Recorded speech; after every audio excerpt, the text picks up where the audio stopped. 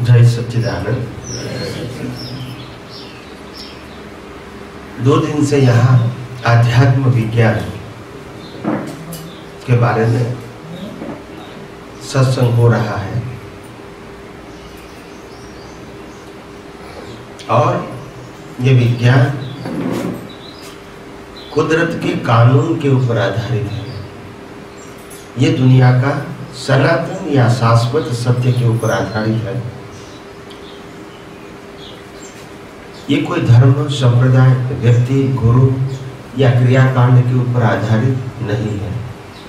ये विज्ञान है और विज्ञान के अंदर दृष्टि का इम्पोर्टेंट होता है, क्रिया का इम्पोर्टेंट नहीं होता है। धर्म में, व्यवहार में क्रिया का इम्पोर्टेंट है, आध्यात्म विज्ञान में दृष्टि का इम्पोर्टेंट है।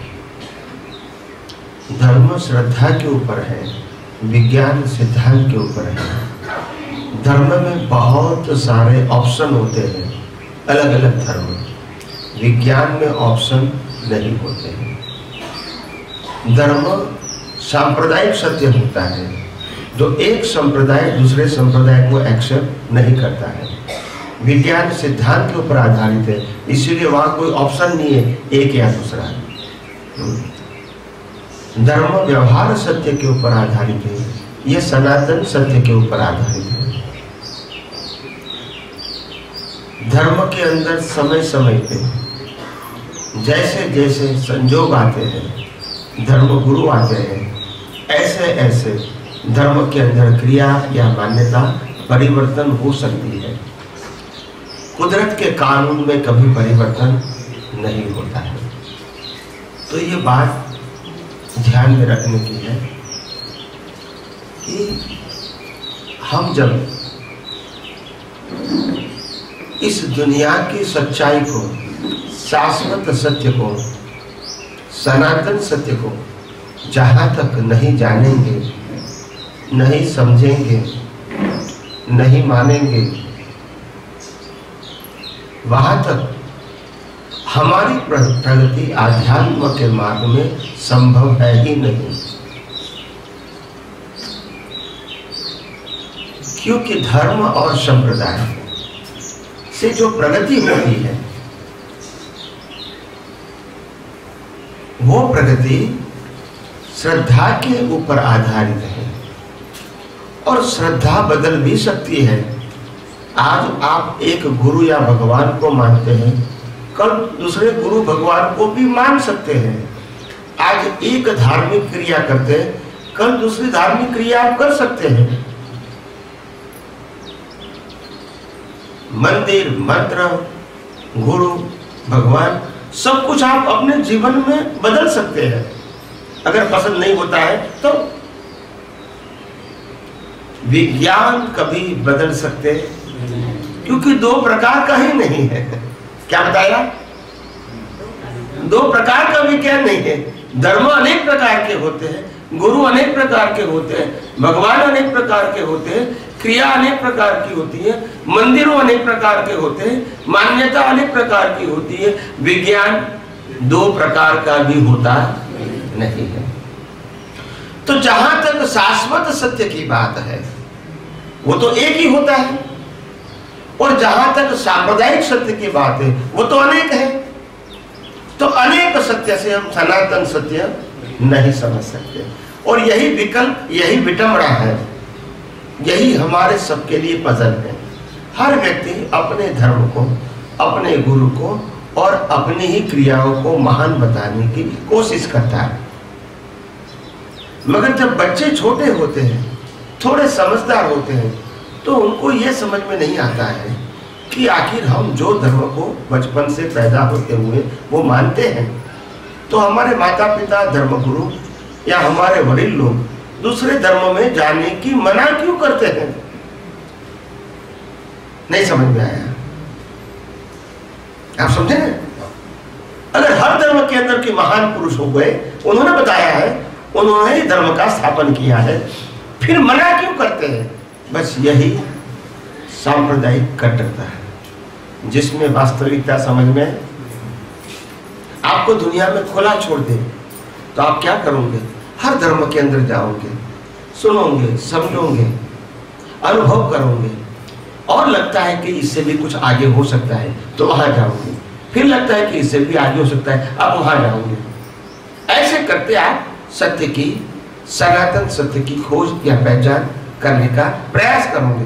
मगर जब पैदा होने के बाद एक ही जगह पे आपको रहने का फोर्स किया जाएगा तो दुनिया का सनातन सत्य समझना आपके लिए शक्य नहीं है।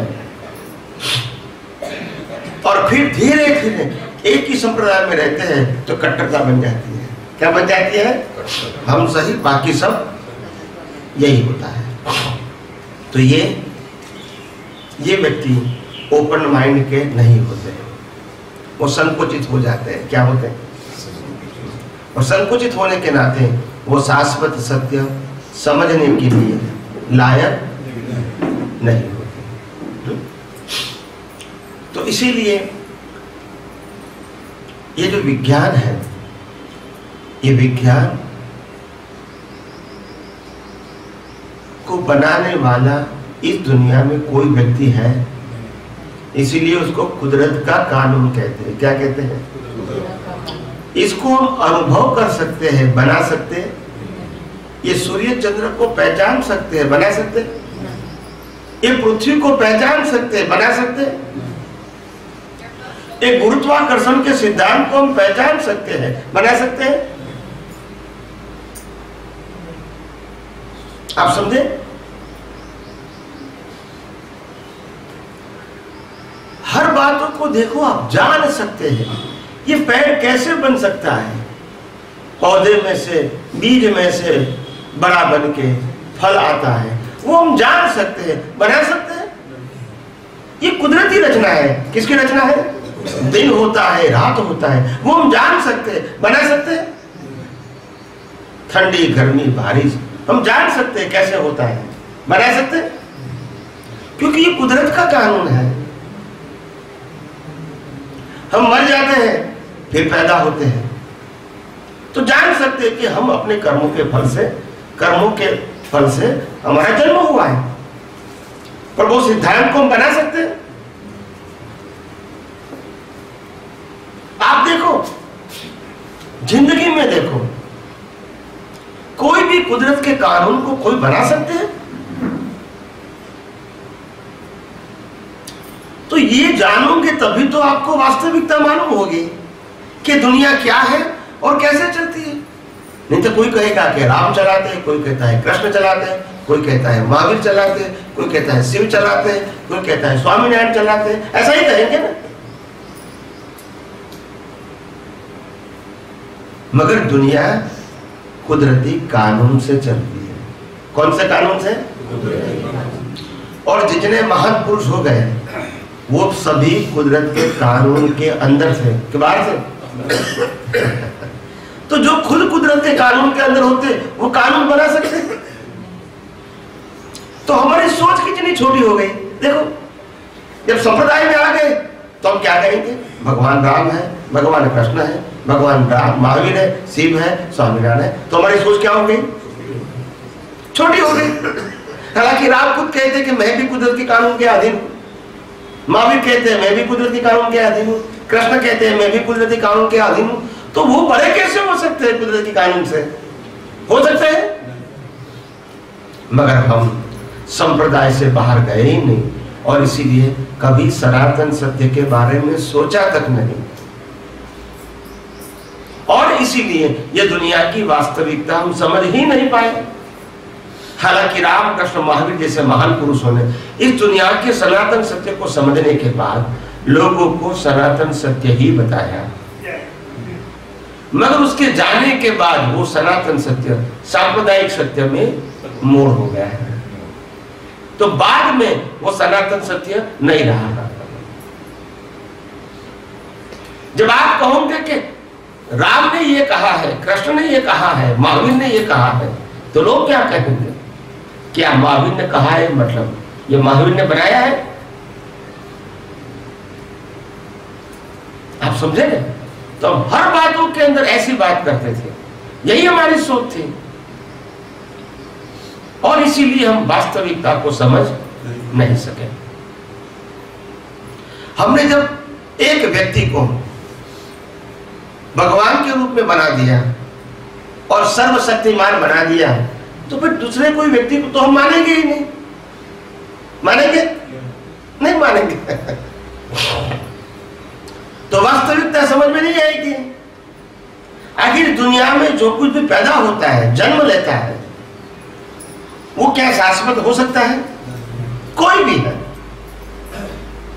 मगर हम मानते हैं कि ये भगवान है और शाश्वत है, अविनाशी है। मानते हैं ना सर और यही भ्रांति है।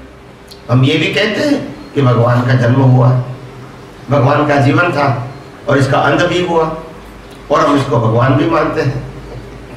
जिसका जन्म जीवन मृत्यु है, वो इंसान होता है कि भगवान होता है? कोई भी व्यक्ति की बात करता हूँ। इंसान के अंदर भगवान है, इंसान भगवान नहीं है।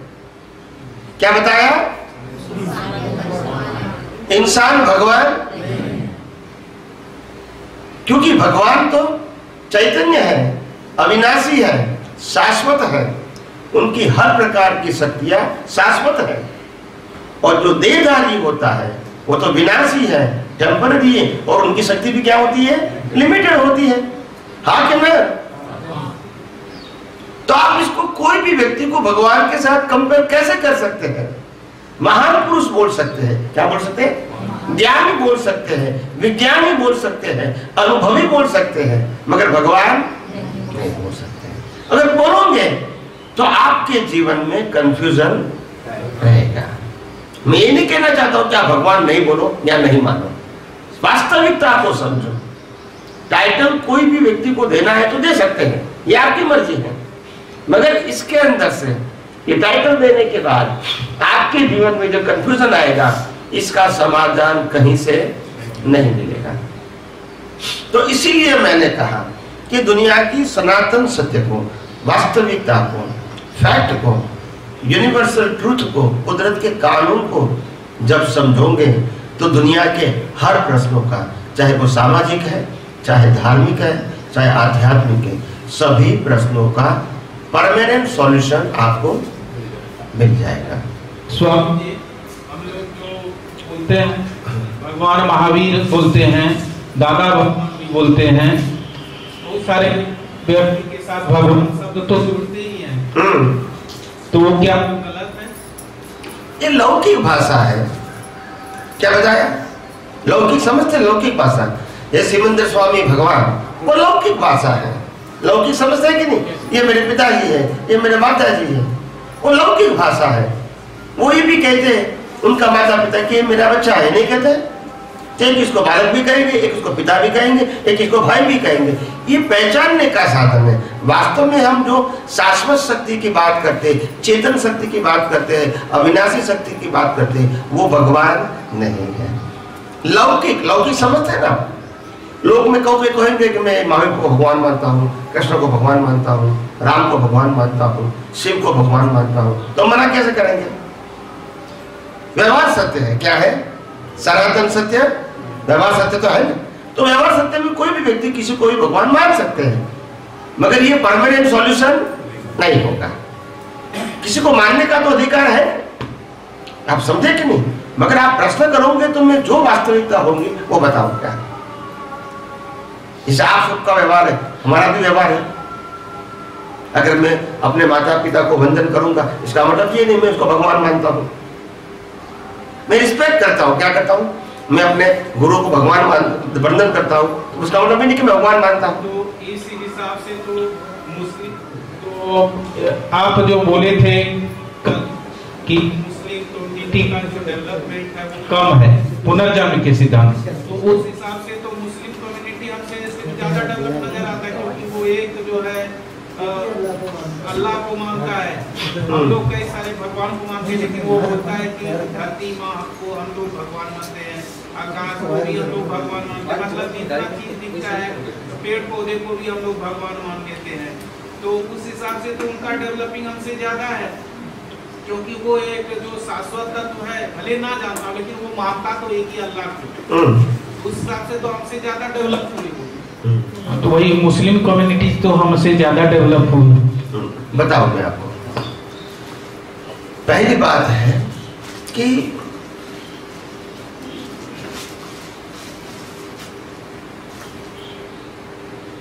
कोई भी धर्म की जो स्थापना होती है वो स्थापना स्थापना समझते ना? स्थापना का मतलब होता है बिगिनिंग तो आप इतिहास पढ़ते नहीं हैं। इसीलिए नहीं मालूम ना सबको। तो मैं आपको इतिहास बताता हूँ। मैंने सब कुछ कुरान, बाइबल, सब कुछ पढ़ा है, बचपन से। दुनिया के तीस धर्मों का, मूलभूत धर्मों का अभ्यास किया है। तब मालूम होता है कि बिगिनिंग कहाँ से हुई। तो वैसे तो लोग वो भी लोग पहले महान पुरुषों को मानते थे। भगवान ना कहो, कोई भी नाम लेके मानते थे। मगर उनकी जो परंपरा थी, राजा की परंपरा, क्या बताया तो राजा की परंपरा में उस जमाने के राजा ऐसे थे। उनके पास सत्ता थी, उनके पास सैन्य था, और उसका हुक्म चलता था। तो लोगों को क्या कहते हैं, आप हमको भगवान स्वीकारो। मैं भगवान कहो या अल्लाह कहो, या ईश्वर कहो, मैं ही हूँ। और मैं आप नहीं मानोगे तो हम आपको काट देंगे। इस प्रकार की मान्यता से उसकी उत्पत्ति हुई। तो फिर लोगों ने धर्मगुरु ने माना तो ये तो सही नहीं है और ये लंबा चलेगा नहीं। तो फिर उन्होंने कहा कि अभी आप अल्लाह को मानो और अल्लाह आकार के रूप में नहीं हो सकता है। तो जो मान्यता थी कि मैं मैं मैं अल्लाह हूँ, मैं ही भगवान हूँ, वो निकल जाएगा। तो उसकी उत्पत्ति वहाँ से हुई। आप समझे? समझ में आया कि नहीं? और हिंदुस्तान के अंदर जो जो महान लोग हुए, राम, कृष्ण, महावीर जैसे, उन्होंने क्या कहा? खुद के ही आत्मा का अनुभव किया। और ये नहीं कहा कि एक आत्मा है, सभी के अंदर वही आत्मा है। क्या बताया? जहाँ जीव है, वहाँ शिव है, जहाँ प्रकृति है, वहाँ परमात्मा है, जहाँ विनाशी है, वहाँ अविनाशी है। तो ये अनुभव से बताया ये धर्म डर की उत्पत्ति से हुआ है। और आज भी उनकी जो प्रकृति है, प्रकृति समझते हैं? उनकी प्रकृति यही होती है, मार फाड़ करके, तोड़ फाड़ करके, ज़बरदस्ती करके ले ले। यही उनकी प्रकृति रही है। हेरिटेज समझ में आया? परंपरा रही है। आज की नहीं, हज़ारों साल की परंपरा यही रही है। और यही रहेगी। तो इसीलिए उन्होंने कहा कि अल्लाह तो क्या कहा? आकार के रूप में नहीं होते हैं, नाम के रूप में नहीं होते हैं। इसीलिए कहा। आप समझे? मगर अनुभव से नहीं कहा है। आप समझे? और हमारे जितने भी महान पुरुष हो गए, उन्होंने आत्मा को खुद का अनुभव किया। और बाद में बताया कि आत्मा ही परमात्मा है, और हमारे सबके अंदर वही आत्मा है, और जहाँ जीव है, पशु पक्षी के अंदर भी वही आत्मा है, और पेड़ पौधे के अंदर भी वही आत्मा है। यानी एक आत्मा नहीं है, एक ही प्रकार का आत्मा है। मगर आत्मा सबका क्या है? इंडिविजुअल है। अगर एक ही आत्मा होगा तो क्या ऊपर आत्मा जो है वो अपूर्ण होगा? क्योंकि हम तो यहाँ है। तो पीसीस भी नहीं है। मगर कई धर्म गुरु, कई धर्म में ऐसा बताया, कि हमारे अंदर आत्मा का अंश है। क्या बताया? तो वो ईश्वर का अंश कहो, जो भी कहो, मगर ऐसा नहीं है। जिसके अंदर जो भी आत्मा है वो संपूर्ण ही है। मगर प्रकट होता है आंशिक। क्या होता है? हाँ, संपूर्ण नहीं होता। और जिसके अंदर संपूर्ण प्रकट हो गया वो खुद ही उन्होंने परमात्मा का अनुभव कर दिया। फिर बॉडी तो आयुष्य कर्म के मुताबिक रहेगी। बॉडी आयुष्य कर्म के मुताबिक रहेगी। तो कहने का मतलब यह है कि इसीलिए अपने जीवन के अंदर जहाँ तक हमने वास्तविकता नहीं जानी है, वहाँ तक सब समझ में नहीं आता है। तो हर बातों को पहले इतिहास जानो। क्या मानो? जानो पहले। इनकी उत्पत्ति कहाँ से हुई? एक क्रिश्चियन धर्म की उत्पत्ति कहाँ से हुई? ये जानोगे तो मालूम होगा। और ये सनातन धर्म की उत्पत्ति कहाँ से हुई? तो क्या सनातन धर्म की तो उत्पत्ति हुई नहीं है। वो तो शाश्वत है। व्यक्ति अलग अलग आते हैं। सनातन तो धर्म एक ही है। वो आत्मधर्म है। बाकी सब सांप्रदायिक धर्म है। सांप्रदायिक धर्म समय समय पर उत्पन्न होता है, नाश होता है, उत्पन्न होता है, नाश होता है। मगर सनातन सत्य तो वही का वही रहेगा। उसमें उत्पत्ति और नाश नहीं है।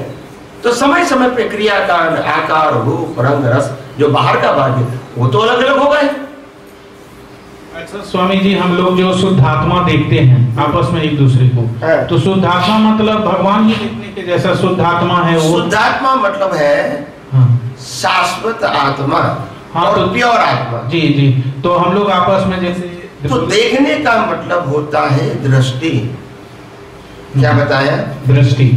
तो जैसे कि मैं सामने वाले को शुद्धात्मा देख रहा हूँ तो वो दृष्टि है मेरी। हम्म।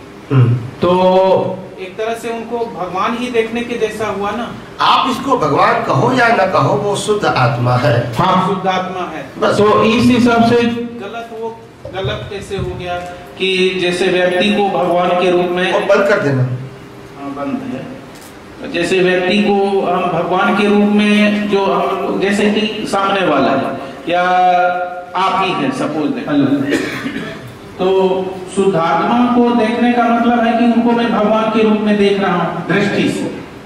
तो वो तो गलत नहीं है।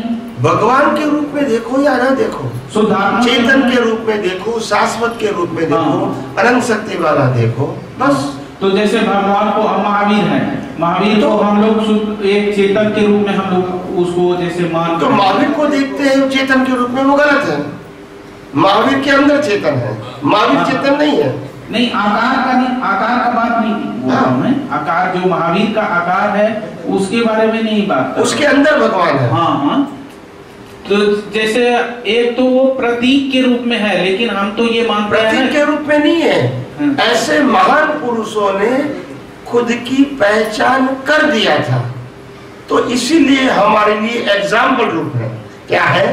कि ये व्यक्ति ने ही खुद की पहचान कर दिया था। हाँ तो वो व्यक्ति ने जो अनुभव किया जिस व्यक्ति को हम शुद्धात्मा के रूप में देख रहे हैं उसी व्यक्ति को ने अनुभव किया तो हम तो उसी व्यक्ति को ही हम भगवान मान रहे हैं ना? तो यही तो गलती है ना। मैंने वही तो कहा। क्यों? वही व्यक्ति ने अनुभव किया है कि मैं शुद्ध आत्मा हूँ मैं अनंत ज्ञान वाला हूँ। जिसने अनुभव किया है हम उसी को भगवान मान रहे हैं तो गलत कैसे हुआ? इसीलिए कहा कि वो खुद कहता है कि मैं भगवान नहीं हूँ मैंने भगवान का अनुभव किया है। हाँ, मेरा अनुभव नहीं किया है। हाँ, मैं अनंत शक्ति वाला नहीं हूँ हाँ। शुद्धात्मा अनंत शक्ति वाला है। मैं चेतन नहीं हूँ शुद्धात्मा चेतन है। तो अभी हम लोग मैं अविनाशी नहीं हूँ शुद्धात्मा अविनाशी है। तो- ये अनुभव किया मैंने और मैं आपको बता रहा हूँ। तो अभी जो हम लोग जो बोल रहे हैं मैं अनंत ज्ञान वाला हूँ वो क्या है? वो शुद्धात्मा को लक्ष्य में रखकर बोलते हैं। अच्छा। शरीर को लक्ष्य में रखकर नहीं नहीं। नहीं तो फिर? अच्छा अच्छा। मैं अनंत शक्ति वाला ऐसा शुद्धात्मा हूँ। मतलब जो मैं अनंत सुख वाला ऐसा मैं मन वचन काया से मुक्त ऐसा शुद्ध आत्मा मतलब शुद्धात्मा जो भीतर है मैं जैसे पहले शरीर के रूप में मानता था कि मैं शरीर हूँ अभी वही मान रहा है कि जो अनंत ज्ञान वाला है उसके जैसा मैं शुद्धात्मा हूँ। हाँ, उसके जैसा हूँ। वही मैं हूँ हाँ। मगर अभी मैं मान रहा हूँ क्योंकि अनुभव मतलब वो भी एग्जैक्ट नहीं है कहा जाए तो। अभी तो बिलीफ के रूप में है ना? हाँ। किसके रूप में है? बिलीव के। हाँ। और बिलीफ अनुभव के रूप में तब ट्रांसफ़र हो जाती है जब आपको जैसे व्यक्ति दिखती है। क्या दिखती है? वैसे सभी व्यक्तियों में और सभी जीवों में शुद्धात्मा दिखेंगे तो आप शुद्धात्मा हो गए। 24 फोर आवर्स अगर आपको शरीर दिखता है कोई भी व्यक्ति का ऐसा 24 फोर अगर वो शरीर में शुद्धात्मा दिखेंगे तो आप शुद्धात्मा हो गए। आप समझे कि नहीं? और कभी शुद्धात्मा देखते हैं और कभी देख देख लेते हैं कि मान लिया जाए वो चोर है वो मतलब कपटी है तो ये इसको क्या बोलेंगे? मिश्र चेतन। चोर हाँ। झूठ बोलने वाला है गुस्सा करने वाला है मारा मारी करने वाला है वो प्रकृति है। मगर उसके अंदर परमात्मा तो वही शुद्ध है। नहीं मैं कच्चा पढ़ रहा हूँ जैसे। मैं एक बार तो शुद्धात्मा देख लेता हूँ। दूसरी बार अज्ञानता बस कुछ दूसरा चीज़ शरीर के रूप में उसको देख लेता हूँ। तो उस समय क्या बोला जाएगा उस स्थिति को? तकलीफ़ ये नहीं है कि आपको चोर को चोर बोलते हैं। तकलीफ़ ये है कि चोर के अंदर शुद्धात्मा नहीं देखते वो तकलीफ़ है। चोर तो शरीर करता है। तो शरीर को चोर बोलो तकलीफ़ नहीं बोलो शुद्धात्मा को चोर क्यों बोलते हाँ हैं? शुद्धात्मा को ही तो चोर बोल देते हैं ना? ये तकलीफ़ हो गई ना। ये तकलीफ़ हो गई ना। आप समझे कि नहीं? सिंपल बात यह है कि जो शरीर करता है इसके लिए शरीर जिम्मेदार है। ऐसा व्यवहार सत्य है। वो हम मानते हैं। मगर शरीर के अंदर जो परमात्मा है उन्होंने तो नहीं किया है ना? मगर उन्होंने किया ऐसा मानते बस ये हमारी अज्ञानता है? आप गधे को गधे कहो तकलीफ़ नहीं है। मगर गधे के अंदर शुद्धात्मा है उसको शुद्धात्मा भी देखो ना। नहीं समझ में आया? समझ में आया। मगर शुद्धात्मा को भी गधे कहोगे तो? यानी मूर्त में अमूर्त को देखना। तो बात यही हुई ना। हम जब कहते हैं कि मैं ये मरा- इसको जलाने के बाद भी हम हैं, वो क्या है? तो इसको देखते हैं तो इसको क्यों नहीं देखते हैं? जो जलने के बाद भी रहता है वो। ये भी है और ये नहीं है। मगर ये देखते ये नहीं देखते। बस ये ज्ञान का है। ये रिलेटिव सत्य है और ये सनातन सत्य है। तो इनको क्यों देखते हैं? ये विनाशी है, ये अविनाशी है। इनकी सब क्वालिटी विनाशी है इनकी सब क्वालिटी अविनाशी है। तो जो है वो दोनों देखो ना मना कौन करता? भाई चोर को चोर भी कहो और चोर के अंदर शुद्धात्मा है तो उसको शुद्धात्मा भी देखो ना। और जब चोर को चोर कहेंगे तो चोर को चोर कहने में तकलीफ़ नहीं है मगर चोर को गुनेगार मानने में तकलीफ़ है। हाँ वो तो कुदरती रचना। क्योंकि कुदरती रचना नहीं देखा आपने। चोर को चोर कहा वो तकलीफ़ नहीं वो टाइटल है। राजा को राजा बोला वो टाइटल है। हम्म, मगर राजा भी कुदरती कानून से है, चोर भी कुदरती कानून से है, और साहूकार भी और तीनों के अंदर शुद्धात्मा तो वही का वही है। बस तो यही दृष्टि है, हमको परिपक्व करना है आज तक हमने प्रकृति के रूप में ही परमात्मा को देखा, और धर्म गुरुओं ने यही सिखाया कि प्रकृति के रूप में ही परमात्मा को जैसे जैसे राम, जैसे कृष्ण, जैसे महावीर सबको प्रकृति के रूप में ही भगवान मानने को कहा हमने। और इसी को ही माना। और बाद में हमने चोर को भी चोर कहा। अंदर बाहर दोनों चोर कहा। अलग नहीं किया। क्योंकि वहाँ नहीं किया तो यहाँ भी नहीं किया। जब वहाँ करोगे कि राम, और राम के अंदर भगवान जो है वो अलग है। कृष्ण कृष्ण के अंदर भगवान है वो अलग है। कृष्ण को तो जन्म हुआ, मृत्यु भी हो गई। राम का जन्म हुआ, मृत्यु हो गया। महावीर का जन्म हुआ, मृत्यु हो गया। मगर तीनों के परमात्मा आज भी है। है कि नहीं? मगर वो हम भूल गए। क्योंकि व्यक्ति को जब भगवान मान दिया तो फिर भगवान अलग देखने की ज़रूरत ही कहाँ रही? बस ये गलती हो गई। एक व्यक्ति को भी देखो महान पुरुष के रूप में, और इसके अंदर परमात्मा भी देखो जो शाश्वत है। एक चोर को भी देखो, मगर चोर के अंदर परमात्मा भी शाश्वत है, उसको भी देखो। मगर हमारी दृष्टि अर्ध सत्य है, और इसीलिए कंफ्यूजन बना रहता है। वास्तविकता को देखो। मैंने कल भी कहा था कि राम ने कई कई को दोषित नहीं देखा। बराबर है कि नहीं? और हम जब भी रामायण सुनते हैं तो कई कई को दोषित मानते हैं। तो आखिर दोनों में अंतर क्या है? दृष्टि का है। क्योंकि राम को मालूम भी मेरे कर्मों का फल है। वो तो निमित्त है। मेरे अंदर भी परमात्मा है। वही परमात्मा कई कई के अंदर है। तो फिर द्वेष करने की या दोषित देखने की ज़रूरत? और दोनों का जो कर्मों का हिसाब है वो तो कुदरती रचना है और कुदरत का कानून है। तो फिर राग द्वेष करने की क्या आवश्यकता है? तो ये बात जब समझ में आई, तभी तो राग द्वेष नहीं हुआ ना। अगर शुद्धात्मा नहीं देखा होता तो बोला, है कहीं नहीं किया? ऐसा ही कहेंगे ना। तो शुद्धात्मा भी देखा और प्रकृति को कुदरती कानून और कुदरती रचना भी देखा। तभी राग द्वेष नहीं हुआ। तो बात एक ही हो गई ना। आप समझे कि नहीं अच्छा ये अ, सुने हैं कि जिसको आत्मा का अनुभव है वो तो बोल नहीं सकता है। अनुभव का कोई चीज़ तो बोल नहीं सकता है। तो आपको हम कैसे माने कि आपको आत्मा का अनुभव हो चुका है? हम्म उन्होंने कहा क्योंकि आत्मा का अनुभव तो बता नहीं सकते हैं। तो आप कैसे हम कैसे माने कि आपको आत्मा का अनुभव हो पाए? पहली बात ये है कि मेरे को आत्मा का अनुभव नहीं हुआ है और इस दुनिया में, इस भरत क्षेत्र में किसी को अनुभव नहीं है। क्या बताया? आत्मा का अनुभव लास्ट बर्थ में ही होता है, जो मैंने पहले कितनी बार बोल चुका हूँ। आत्मा की दृष्टि परिपक्व हो सकती है, जैसे प्रकृति की दृष्टि परिपक्व होती है। ये चोर है, ये साहूकार है, ये गुस्से वाला है, ये राग वाला है, द्वेष वाला है, वो प्राकृतिक दृष्टि है। ऐसे इसमें परमात्मा है इसमें परमात्मा है इसमें परमात्मा है मेरे में परमात्मा है। सबके अंदर परमात्मा देखो तो आपकी दृष्टि क्या होगी? परिपक्व होगी। परमात्मा का अनुभव कब होगा? लास्ट भाई ऐसा क्यों? लास्ट में हुआ। तो के अभी तक आपका अभ्यास क्या था? प्रकृति को ही सब कुछ मानते थे और परमात्मा को तो मानते नहीं थे। यानी व्यक्ति के अंदर परमात्मा है वो मानते और नहीं मानते थे देखते भी नहीं थे है फिर भी देखते नहीं थे। अभी आपको मालूम हुआ कि प्रकृति भी है और परमात्मा भी है दोनों साथ में है। एक नहीं है, एक विनाशी है और दूसरा और सबके अंदर है। तो है तो प्रकृति के साथ परमात्मा भी। प्रकृति कर्मों के अधीन हो सकती है, परमात्मा कर्मों के अधीन नहीं है। तो दोनों को देखो। प्रकृति कुदरती कानून के अधीन हो सकती है, परमात्मा कुदरती कानून के अधीन नहीं है। तो दोनों को देखो। अगर एक ही चीज़ को देखते थे ये हमारा पजल था। तो there are two view point to solve this puzzle ये दोनों व्यू पॉइंट एक साथ होना चाहिए। व्यवहार सत्य और सनातन सत्य। तो हम लोग अभी तक जो सुनते आए थे कि उनको आत्मा का अनुभव हो गया। दूसरी दूसरी बात अभी बाकी है उत्तर। दूसरी बात कि जिसको अनुभव होता है वो अनुभव आत्मा का अनुभव तो बता नहीं सकते हैं। मैंने पहले भी कहा था कि आत्मा का अनुभव वो बताने की चीज़ नहीं है। मगर अनुभवी पुरुष आत्मा की अनुभूति करने का जिस मार्ग पे चला है, वो मार्ग बता सकता है। क्या बता सकता है?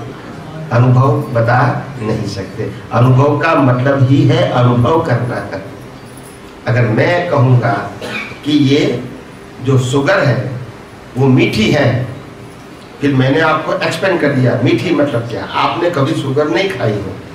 तो मैंने एक्सप्लेन कर दिया कि शुगर मीठी है शुगर ऐसे मीठी है शुगर ऐसे मीठी है शुगर ऐसे मीठी है। ऐसा मैंने सौ एग्ज़ाम्पल दे दिया। मगर मीठी क्या है, वो कभी आपने अनुभव किया नहीं है। तो कैसे मालूम होगा? कितना भी वर्णन करूँगा, मगर थोड़ी सी आपकी जीभ में रख दूँगा तो अपने आप अनुभव तो अनुभव को एक्सप्लेन नहीं किया जाता है। मगर अनुभव की प्रोसेस बताया जाता है। क्या बताया जाता है? प्रक्रिया कि मिठास का अनुभव करना है। तो कोई मीठी चीज़ खानी पड़ेगी तो आपको अनुभव होगा मिठास का। मगर मीठी चीज़ का अनुभव है, वो तो मैं एक्सप्लेन जब कोई माता जी को पूछेंगे कि आपको आपके बच्चे के प्रति कितना प्यार है तो वो बताएँगी बहुत प्यार है, बहुत प्यार है, ऐसा बताएँगे। या तो दो तीन एग्ज़ाम्पल दे देंगे। तो अगर दो तीन एग्ज़ाम्पल देते, इतना प्यार होता है। तो प्यार को एक्सप्लेन करने की थोड़ी चीज़ है। ये तो अनुभव कहते हैं कि इस प्रकार का मेरे को अनुभव होता है, मगर प्यार जो चीज़ है, वो हम दिखा नहीं सकते। वो तो अनुभव की बात होती है। क्या होती है? मगर अनुभव की प्रोसेस बता सकते हैं। क्या बता सकते हैं? तो हर अनुभवी ज्ञानी पुरुष भी अनुभव की प्रोसेस बताते हैं। अनुभव तो खुद को करने की चीज़ है। और जहाँ तक मूल आत्मा का अनुभव नहीं होता है वहाँ तक अभी जो अनुभव है वो अज्ञानता को नाश करने का अनुभव है। उनके साथ आत्मा का लक्ष्य पक्का करना। आत्मा का लक्ष्य पक्का करो अज्ञान का नाश करो। आत्मा का लक्ष्य पक्का करो अज्ञान का नाश करो। शुद्धात्मा का लक्ष्य पक्का करो अज्ञान का नाश करो। ये आपका क्या हो गया? डेवलपमेंट हो गया है। अभी तक अज्ञान को ही हम ज्ञान मानते थे और अज्ञान की प्रगति को ही हम प्रगति मानते थे। बाह्य प्रगति को ही हम प्रगति मानते थे। अभी अज्ञान को नाश करना और शुद्धात्मा पद को मज़बूत करना, इसको आप प्रगति मानोगे। तो दोनों की दृष्टि क्या हो गई? चेंज हो गई।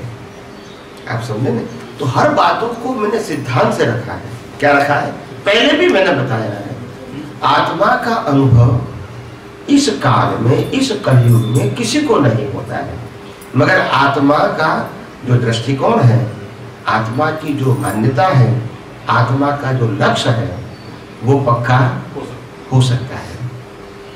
क्योंकि वो शाश्वत है। अगर शरीर का लक्ष्य पक्का करेंगे मैं किसी का पति हूँ, पत्नी, बच्चा हूँ, बच्ची हूँ, दामाद हूँ, बहू हूँ, कोई भी रिलेशन पक्का करेंगे, शाश्वत रहेगा। मगर मैं शुद्धात्मा ऐसा पक्का किया, इस अवतार में टेन परसेंट। तो आगे आएगा नहीं आएगा। क्योंकि शाश्वत का अनुभव बात करते हैं। शाश्वत का अनुभव पक्का किया है। ये प्रकृति का प्रकृति का अनुभव चला जाएगा। इनका अनुभव चला कैसे पूर्ण होगा। आप समझे? इसका अनुभव, अगर ये प्रकृति डॉक्टर बन गई, गोल्ड मेडलिस्ट, फिर 40 साल प्रैक्टिस किया, फिर एक्सपायर हो गए, फिर पैदा हुए, फिर पाँच साल हुआ फिर बाल मंदिर। बोलते नहीं हैं। तो अनुभव कहाँ गया तो ये अनुभव साथ में है। तो बात को समझो। इसका अनुभव आता है, इसका अनुभव साथ में नहीं आएगा। चाहे इंजीनियर है डॉक्टर है चार्टर्ड अकाउंटेंट लॉयर है, ये भी अनुभव साथ में नहीं आएगा। ये अनुभव आएगा क्योंकि ये शाश्वत है, ये शाश्वत तो टेम्पररी का अनुभव भी टेम्पररी तो होगा। और शाश्वत का अनुभव शाश्वत रहेगा। तो बात को तो समझनी पड़ेगी ना। और हम सबको ये मालूम नहीं है आत्मा है तब शरीर है। शरीर है तो आत्मा नहीं है। क्या बताया? आत्मा निकल जाने के बाद भी शरीर है उसके वैल्यू आत्मा है तब शरीर की वैल्यू है। यह सुन लो। स्वामी जी जैसे अभी आप आत्मा के बारे में बतला रहे थे कि आत्म तत्व जितने भी जीवधारी है चेतन जिसे कहते हैं तो मुझे आत्मा के स्वरूप एक हाथी के में आत्मा और एक चींटी में आत्मा। दोनों चेतन है। हम जैसे चेतन है वैसे हाथी भी चेतन है और चींटी भी हाथी में चेतन है बोलो। हाथी चेतन मत बताओ हाथी में परमात्मा है। हम चेतन नहीं हमारे में चेतन है। हाँ, हमारे चेतन स्वरूप होने का चेतन होने के कारण आत्मा के कारण ही चेतन कहलाता है। बराबर है? बराबर है? तो दोनों के स्वरूप में जैसे हाँ चीटी के अंदर जो आत्म तत्व होगा उसका क्या स्वरूप हो सकता है? और हाथी के अंदर जो आत्म तत्व है तो क्या आत्मा छोटा बड़ा सूक्ष्म विशाल आकार का भी हो सकता है क्या? और चूँकि हम सुने हैं अभी जैसे महात्माओं से कि आत्म तत्व है वह कोई उसका कोई छोटा बड़ा वो निराकार भी है, साकार भी है, वो छोटा भी हो सकता है, बड़ा भी हो सकता है, इस पर थोड़ा चर्चा कीजिएगा। हम्म। देखो, सबसे बड़ी बात यह है, मूल आत्मा आकार स्वरूप नहीं है, क्योंकि वो जड़ तत्व से नहीं बना है। जड़ तत्व का आकार होता है, चेतन तत्व का आकार नहीं होता है। मगर चेतन तत्व वो ज्ञान प्रकाश स्वरूप है। कौन सा प्रकाश? ये ज्ञान प्रकाश नहीं है।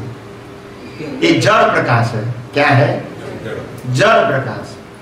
और आत्मा के अंदर ज्ञान प्रकाश है। कोई भी चीज़ को उनकी हाजिरी से जान सकते हैं मान सकते हैं फील कर सकते हैं। इसके पास एक लाख रुपया लगो वो फील नहीं करेगा। करेगा? ये करेगा। समझे कि नहीं समझे? शरीर करेगा, ये नहीं करेगा। यहाँ आत्मा है, वहाँ लाइट है, मगर उसमें चेतनता नहीं है। तो आत्मा तत्व का जो स्वभाव है, वो ज्ञान प्रकाश है। क्या है? और ज्ञान प्रकाश से जैसे पात्र होता है, उसी प्रकार का आकार, उनका आकार नहीं है। चीटी में इतना हो जाता है हाथी में इतना हो जाता है। वो प्रकाश की रेडियस है। क्या बताया? उनकी साइज़ नहीं है। समझते हैं? जैसे पानी होता है। तो पानी मटकी में भरो तो आकार कैसा हो गया? और ग्लास में भरा तो? और चमचे में भरा तो? अभी अभी पानी का आकार क्या है? निराकार। तो निराकार का आकार नहीं होता है मगर पात्र के मुताबिक परिवर्तन हो जाता है। उनका खुद का आकार नहीं है। पात्र के मुताबिक उसकी रेडियस बन जाती है। रेडियस समझते हैं? जैसे एक बल्ब है हज़ार वोल्ट का बल्ब है ठीक है? हज़ार वोल्ट का बल्ब है। और इसके ऊपर मैंने मटके लगा दिया। तो उनकी रेडियस कितनी रहेगी प्रकाश की? उसमें एक होल कर दिया तो? इतना बाहर निकलेगा ना? फिर पाँच होल कर दिया तो? फिर पच्चीस होल कर दिया तो? और पूरी मटकी फोड़ दी तो? तो वो तो वही का वही है। उनकी साइज़ कम ज़्यादा क्या हुई? हुई? ऐसा है। आज तक लोग, मैंने कहा ना कि जहाँ तक ये साइंस को समझ में नहीं आएगा, ये कुछ बात समझ में नहीं आएगी। किताबों में तो सब कुछ लिखा है, मगर किताबों पढ़ने वाला अनुभवी ज्ञानी होना चाहिए। तभी वो किताबों की बात सही मायने में समझा सकते हैं। नहीं तो आप समझोगे बुद्धि से तो कंफ्यूज हो जाओगे। फिर आपको कोई आर्गुमेंट करेगा, आपके पास उत्तर? नहीं होगा। क्योंकि आपका विजन गलत नहीं है मगर लिमिटेड है। तो जिसका दर्शन विशाल हो गया है और जिसका दर्शन का बेस है सनातन सत्य तो इसीलिए उनकी बात जो हो वो प्रमाण हो जाती है। क्या हो जाती है? और जो व्यक्ति की सोच लिमिटेड है उनकी बात सही हो सकती है मगर व्यू पॉइंट के रूप में। क्या बताया? सनातन सत्य? क्योंकि और आर्ग्यूमेंट करेंगे तो आपके पास उत्तर नहीं होगा। तो आत्मा की साइज़ नहीं है, कीड़ी के और हाथी के मुताबिक, मगर प्रकाश की रेडियस है। आप समझ गए ना भाई?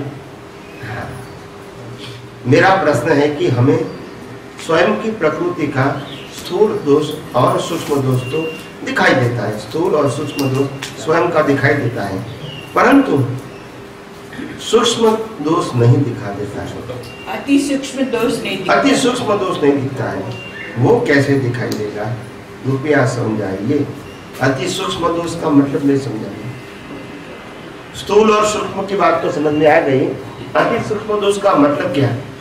जैसे कि स्थूल दोष तो जो हम किसी के साथ व्यवहार में कर रहे हैं ओके। वो तो दिखाई दे देता है। उसके अलावे वो भी समझ में आता है कि किस ग्रंथि के चलते इसके साथ ये दोष हुआ। ओके। और उसके अलावे अति सूक्ष्मतम जो दोष है कारण एग्ज़ाम्पल दो ना मेरे को। सच्चिदानंद कि आप ये स्थूल दोष है ये हाँ। सूक्ष्म दोष है हाँ। ये सूक्ष्मतम दोष है। तो एग्ज़ाम्पल दो तीनों का एक एक एग्ज़ाम्पल दे दो खत्म हो गई बात। तो डिस्क्राइब करने की भी ज़रूरत नहीं है। हाँ, तो- इसको स्थूल कहते हैं इसको सूक्ष्म कहते हैं इसको सूक्ष्म अति सूक्ष्म कहते हैं। एग्ज़ाम्पल दे दो। जैसे कि आ, मेरे को एक एक लिखी में। हाँ जैसे उदाहरण की मेरे ये बिना के साथ में कोई बात बाती हो गई। हम्म। किसी बात को लेके। समझ गया।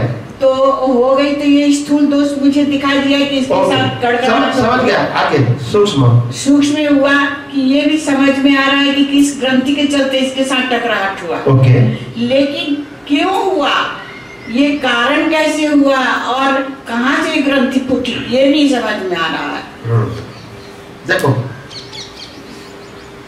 वैसे ज्ञानी पुरुष दादा भगवान ने स्थूल सूक्ष्म सूक्ष्मतर और सूक्ष्मतम। ऐसे चार प्रकार के दोष बताए कैटेगरी। स्थूल सूक्ष्म सूक्ष्मतर और सूक्ष्मतम। उसी बात को मेरे को जानना है अभी सूक्ष्म- अभी अभी अभी उत्तर दे रहा हूँ। जी। अभी सिर्फ़ सुनो अभी। हाँ। मैं स्टेप आपका प्रश्न छोटा होगा मगर मैं उत्तर कंप्लीट कर दूँगा क्योंकि मैं बात करूँगा उत्तर दूँगा तो रिकॉर्डिंग होता है तो लाखों लोग उसका उत्तर पाए ऐसा मैं उत्तर देता हूँ। सिर्फ़ आप अकेले को प्रश्न आपका होगा, मगर ये वीडियो के माध्यम से लाखों लोग जो सुनते हैं, उनको उत्तर मिलना चाहिए। ये मेरी सोच होती है। सिर्फ़ आपको समाधान नहीं देना है। सिर्फ़ आपको तो देना है, मगर लाखों लोगों के अंदर और प्रश्न नहीं उठे, उस प्रकार से मैं उत्तर देता हूँ। हम्म? तो अभी सारा से सुनिए। बंद कर दीजिए इसको तो पहली बात है, चार प्रकार के दोष ज्ञानी पुरुष दादा भगवान ने बताए। स्थूल, सूक्ष्म, सूक्ष्मता और सूक्ष्मतम। ये चार प्रकार की कैटेगरी बताई है। वास्तव में चार नहीं है, मगर तीन है। क्या है? स्थूल, सूक्ष्म और कारण। क्या बताया? स्थूल, सूक्ष्म और कारण। स्थूल दोष का मतलब होता है, जो पाँच इंद्रियों से अनुभव में आता है, वो स्थूल दोष है।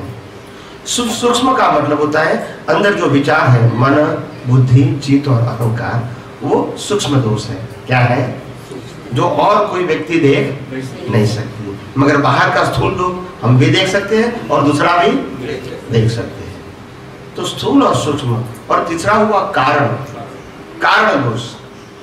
कॉज जिससे नए कर्म बनते हैं। वो दो प्रकार के दोष हैं। सूक्ष्मतर और सूक्ष्मतम। जो सूक्ष्मतर दोष है, वो संसार के लिए लायक और सहायक है। और सूक्ष्मतम है। वो मोक्ष के लिए लायक और सहायक है। यहाँ संसार को चलाने के लिए कर्म करते हैं। यहाँ संसार को समाप्त करने के लिए कर्म करते हैं। मोक्ष मार्ग के लिए लायक और सहायक। संसार के लिए लायक और सहायक। वो सूक्ष्मता है। और मोक्ष मार्ग के लिए लायक और सहायक सूक्ष्मतम है। इस प्रकार के चार प्रकार की कैटेगरी है। मगर तीजी, तीसरा और चौथी कैटेगरी है, उसको कहते हैं कारण। क्या बोलते हैं? स्थूल, सूक्ष्म और कारण। जिसके आधार से नया सर्जन होता है। क्या होता है? सर्जन। स्थूल और सूक्ष्म को विसर्जन का दो ब्रांच है। विसर्जन का। और कारण, वो सर्जन का दो ब्रांच है। सूक्ष्मतर और सूक्ष्म इस प्रकार के चार प्रकार के दोष हैं। हम्म? तो ये काफ़ी सिंपल है। समझने के लिए काफ़ी सरल है। कोई टेढ़ा मेढ़ा, उल्टा सुल्टा नहीं है। मगर आज तक हम, क्योंकि जो बात आपको प्रैक्टिकल समझ में नहीं आएगी क्योंकि किताबों की और ज्ञानी पुरुष जब कहा है, तब इसकी मर्यादा होती है। कैसे मर्यादा होती है? सामने वाला व्यक्ति ने प्रश्न किया, उन्होंने उत्तर दे दिया, फिर आर्ग्यूमेंट नहीं किया तो उत्तर वहाँ क्या हो गया? समाप्त हो गया। फिर बाद में जो लोगों को उत्तर सुनने के बाद प्रश्न उठा, इसका उत्तर किसी के पास फिर अनुभवी पुरुष नहीं है। क्या नहीं है? तो इसीलिए मैंने सब कुछ क्लियर कर दिया। ये जो मैंने उत्तर दिया, वो आप्तवाणी में नहीं है। चौदह में से एक तो आप्तवाणी में नहीं है। आप समझे ना? तो क्योंकि बाकी की बातें जो अनुभवी पुरुष होते हैं, वो ही बताते हैं कि वो क्या कहना चाहते थे। मगर उस समय जिस व्यक्ति ने प्रश्न किया, उन्होंने उत्तर दिया और समझ लिया कि बराबर है। तो फिर बाद में आगे की बात नहीं निकली। आप समझे कि नहीं? समझी लेकिन उदाहरण देके फिर से समझाने उदाहरण तो मैंने दे दिया कि पाँचों इंद्रियों से जो अनुभव करते हैं वो स्थूल दोष है। क्या बताया? और मन बुद्धि चित अहंकार। अंतस्करण में जो अनुभव होता है मन बुद्धि चित अहंकार में। हम्म? वो कौन सा दोष है। सूक्ष्म दोष। वो बाहर दिखता है? नहीं। नहीं है। और तीसरा दोष है कारण दोष। कारण का मतलब होता है नए कर्मों का सर्जन करना। है ये इफ़ेक्ट दोष है। क्या है? स्थूल और सूक्ष्म इफ़ेक्ट में जाएगा और कारण वो कॉज में जाएगा। तो कॉज की दो ब्रांच है सूक्ष्मतर और सूक्ष्मतम। सूक्ष्मतर का मतलब होता है संसार के लिए लायक और सहायक कर्म बनाना। क्या बताया? संसार के लिए लायक और सहायक। फिर मनुष्य लोक से लेके, पशु योनि के लेख से नरक लोक से लेके देवलोक का कर्म बनाना, वो संसार के लिए लायक और सहायक है। चारों गति में घूमने का कर्म बनाना, वो संसार के लिए लायक और सहायक है।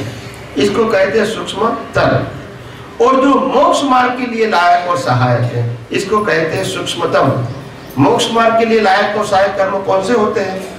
कि मेरे को आत्मा का अनुभव करना है। इसके लिए मेरे को अनुभवी ज्ञानी पुरुष मिले। मेरा जीवन केवल आत्मा के बारे में ही सोचे, समझे और अनुभव करे। संसार में मेरे को जो कुछ मिलना है, ये शरीर चलाने के लिए, जीवित रखने के लिए, उसमें मेरी कोई प्रायोरिटी नहीं है। मेरी प्रायोरिटी सिर्फ़ इसका है, मैं अपने खुद के आत्मा का कैसे अनुभव करूँ? इसके लिए माता पिता भी ऐसे मिले भाई बहन भी ऐसे मिले परिवार भी ऐसे मिले स्थल स्थल भी ऐसा मिले गुरु भी ऐसा मिले ज्ञानी भी ऐसा मिले ताकि मैं खुद की पहचान कर सकूँ। मेरा सेंटर पॉइंट क्या है? खुद की पहचान संसार की पहचान संसार की प्राप्ति नहीं है। तो वो मोक्ष मार्ग के लिए लायक और सहायक होंगे। तो दोष में कैसे आएगा? दोष का मतलब जब बीज डालोगे तो दोषी कहेंगे कि फल आएगा। कर्म को क्या कहोगे? कर्म को तो कर्म भाव से तब कर्म को आप दोष कहोगे या मुक्ति कहोगे? दोष कहेंगे बस। तो जवाब तो आ गया ना। सूक्ष्मतर कर्म या सूक्ष्मतम कर्म दोनों कर्म ही है। तो कर्म को दोष कैसे नहीं कहेंगे जिसका फल आने वाला है। तो स्वामी जी आखिर जैसे शुद्धात्मा के लिए प्रगति कर रहे हैं हम्म। तो वहाँ पर दोष कैसे बन रहा है? दोष नहीं बनेंगे तो रामकृष्ण महावीर का अंतिम वर्त कैसे होगा? अच्छा वो भी एक भाव भावना ही है। तो बात वही हो गई लास्ट पर भी चाहिए तो सही के नहीं? भले उस अवतार में उसको मुक्ति पाना है नए कर्मचार नहीं कर रहे हैं मगर जन्म तो चाहिए कि नहीं? चाहिए। तो फिर और जो संसार के लिए जो हम दोष कर रहे हैं वो किस स्थिति से कर रहे हैं? कैसे मतलब हो जाता है? बाहर की चीज़ें मांगते हैं। अच्छा। बाहर की कहो या ये भी बाहर की है। हाँ, और ये दिखता है वो भी बाहर की है। शरीर ऐसा चाहिए हाँ, हाँ, स्वास्थ्य ऐसा चाहिए पुरुष चाहिए स्त्री चाहिए बच्चे चाहिए पति चाहिए परिवार चाहिए खाना पीना पैसा साधन संपत्ति बंगला मोटर गाड़ी नौकर चाकर ये चाहिए। ये क्या रहेगा? संसार के लिए लायक और इसमें आत्मा की बात नहीं है। तो वो सूक्ष्मता है। वो भी कर्म है। इसका भी फल आएगा मतलब ये दोनों दोष में ही गिने जाएँगे। जो कर्म का फल आएगा वो तो दोष ही है। महावीर को जन्म लेना पड़ेगा क्यों? दोष। बिना कर्म। कर्म से तो फिर भले वो लास्ट बर्थ का कर्म था बाद में मोक्ष में चले गए राम भी मोक्ष में चले गए मगर वो लास्ट बर्थ का भी तो कर्म था ना। इसे नया कर्म नहीं बना क्योंकि वो मोक्ष मार्ग के लिए लायक था। तो बाद में तो मोक्ष होने वाले थे। मगर संसार के लिए लायक और सहायक बनाएँगे तो हम चलते ही रहेंगे। जन्म मरण के चक्कर में घूमते ही रहेंगे और कोई रास्ता नहीं। नहीं है। तो प्रकृति तो दो और इसीलिए हम सबको कहते हैं कि अगर आपको भावना करना है प्रार्थना करना है तो बार बार दिन में यही प्रार्थना करोगे सुख दुख के संजोगों में कि हे परमात्मा मेरे को मोक्ष मार्ग के लिए लायक और सहायक संजोग हो प्राप्त हो प्राप्त हो प्राप्त हो। यही भावना करते रहो। कोई दुख देता है कोई सुख देता है कोई मोह का वातावरण है कोई टेंशन का वातावरण है। अभी सभी परिस्थिति में क्योंकि सुख भी मेरे को नहीं चाहिए संसारी और दुख भी नहीं ये सब माया की जाल है। क्या है? जान हाँ। आप समझे ना? वास्तव में सुख? नहीं। व्यक्ति खुद की ज़िम्मेदारी तो नहीं ले सकता है। और फिर क्या करता है? सुख के लिए पत्नी की ज़िम्मेदारी ले लेता है। खुद की ज़िम्मेदारी नहीं लेता है। बोला नहीं मेरा जीवन भी जीना है तो कोई आसान बात नहीं है। तो फिर दूसरे की ज़िम्मेदारी क्यों ले लेते हैं? फिर आते हैं बच्चे। अभी कहता है मैं क्या करूँ? पहले अकेला था तो बोला मेरे शांति से नींद आती थी। किसी के लिए सोचना नहीं था खाना पीना और सो गया। मगर किसी ने कहा कि सुख तो शादी करने में है तो फिर कर दिया। अभी दो की चिंता करो।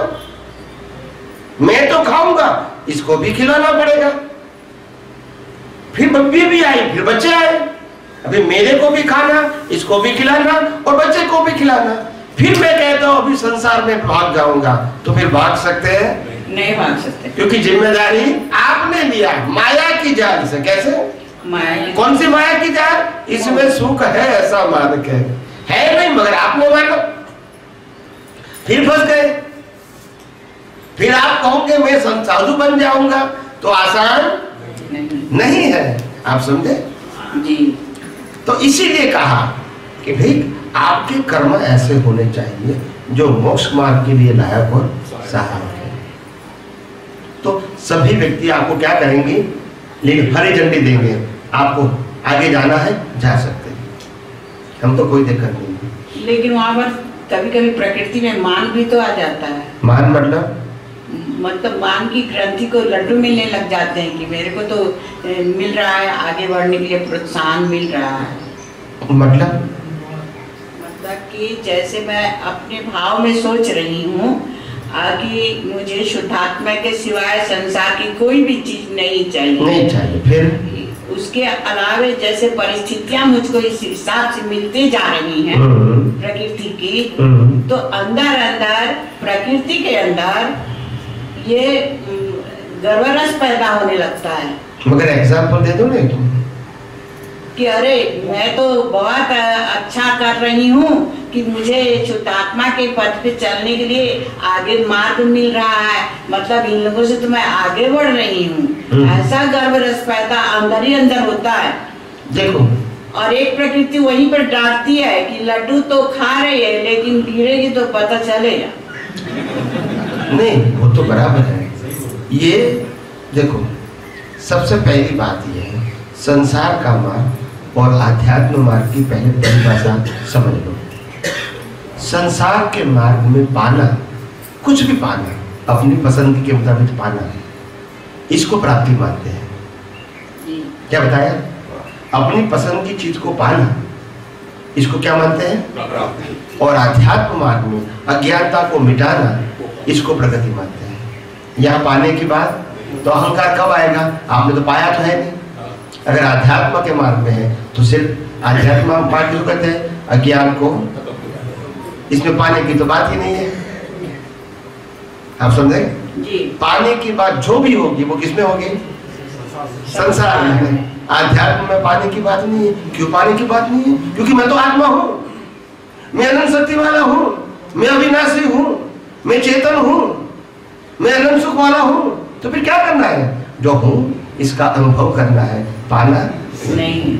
और यहाँ नहीं हूँ वो पाना है। इसीलिए पाना पड़ता है। मेरे को माना चाहिए तो पाना है। मेरे को पानी चाहिए तो पाना है क्योंकि मेरा नहीं है।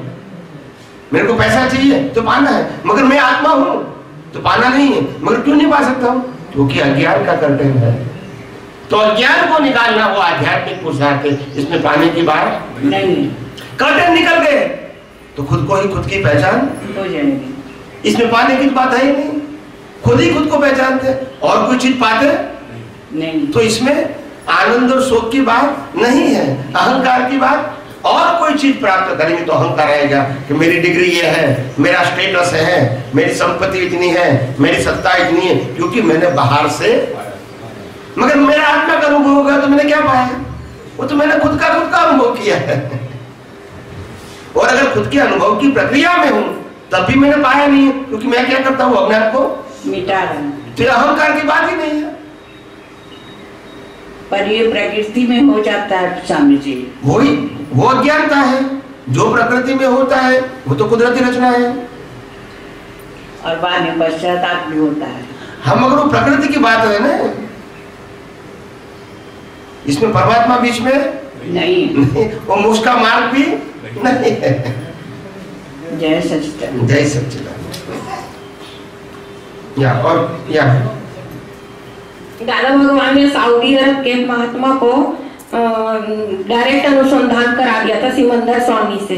तो दोनों का पद और डिग्री एक हुई। सऊदी हाँ एक महात्मा थे पृथ्वीराज। उसका डायरेक्ट अनुसंधान करा दिए थे सिमंदर स्वामी से। नीलुमा प्रवचन सुना था।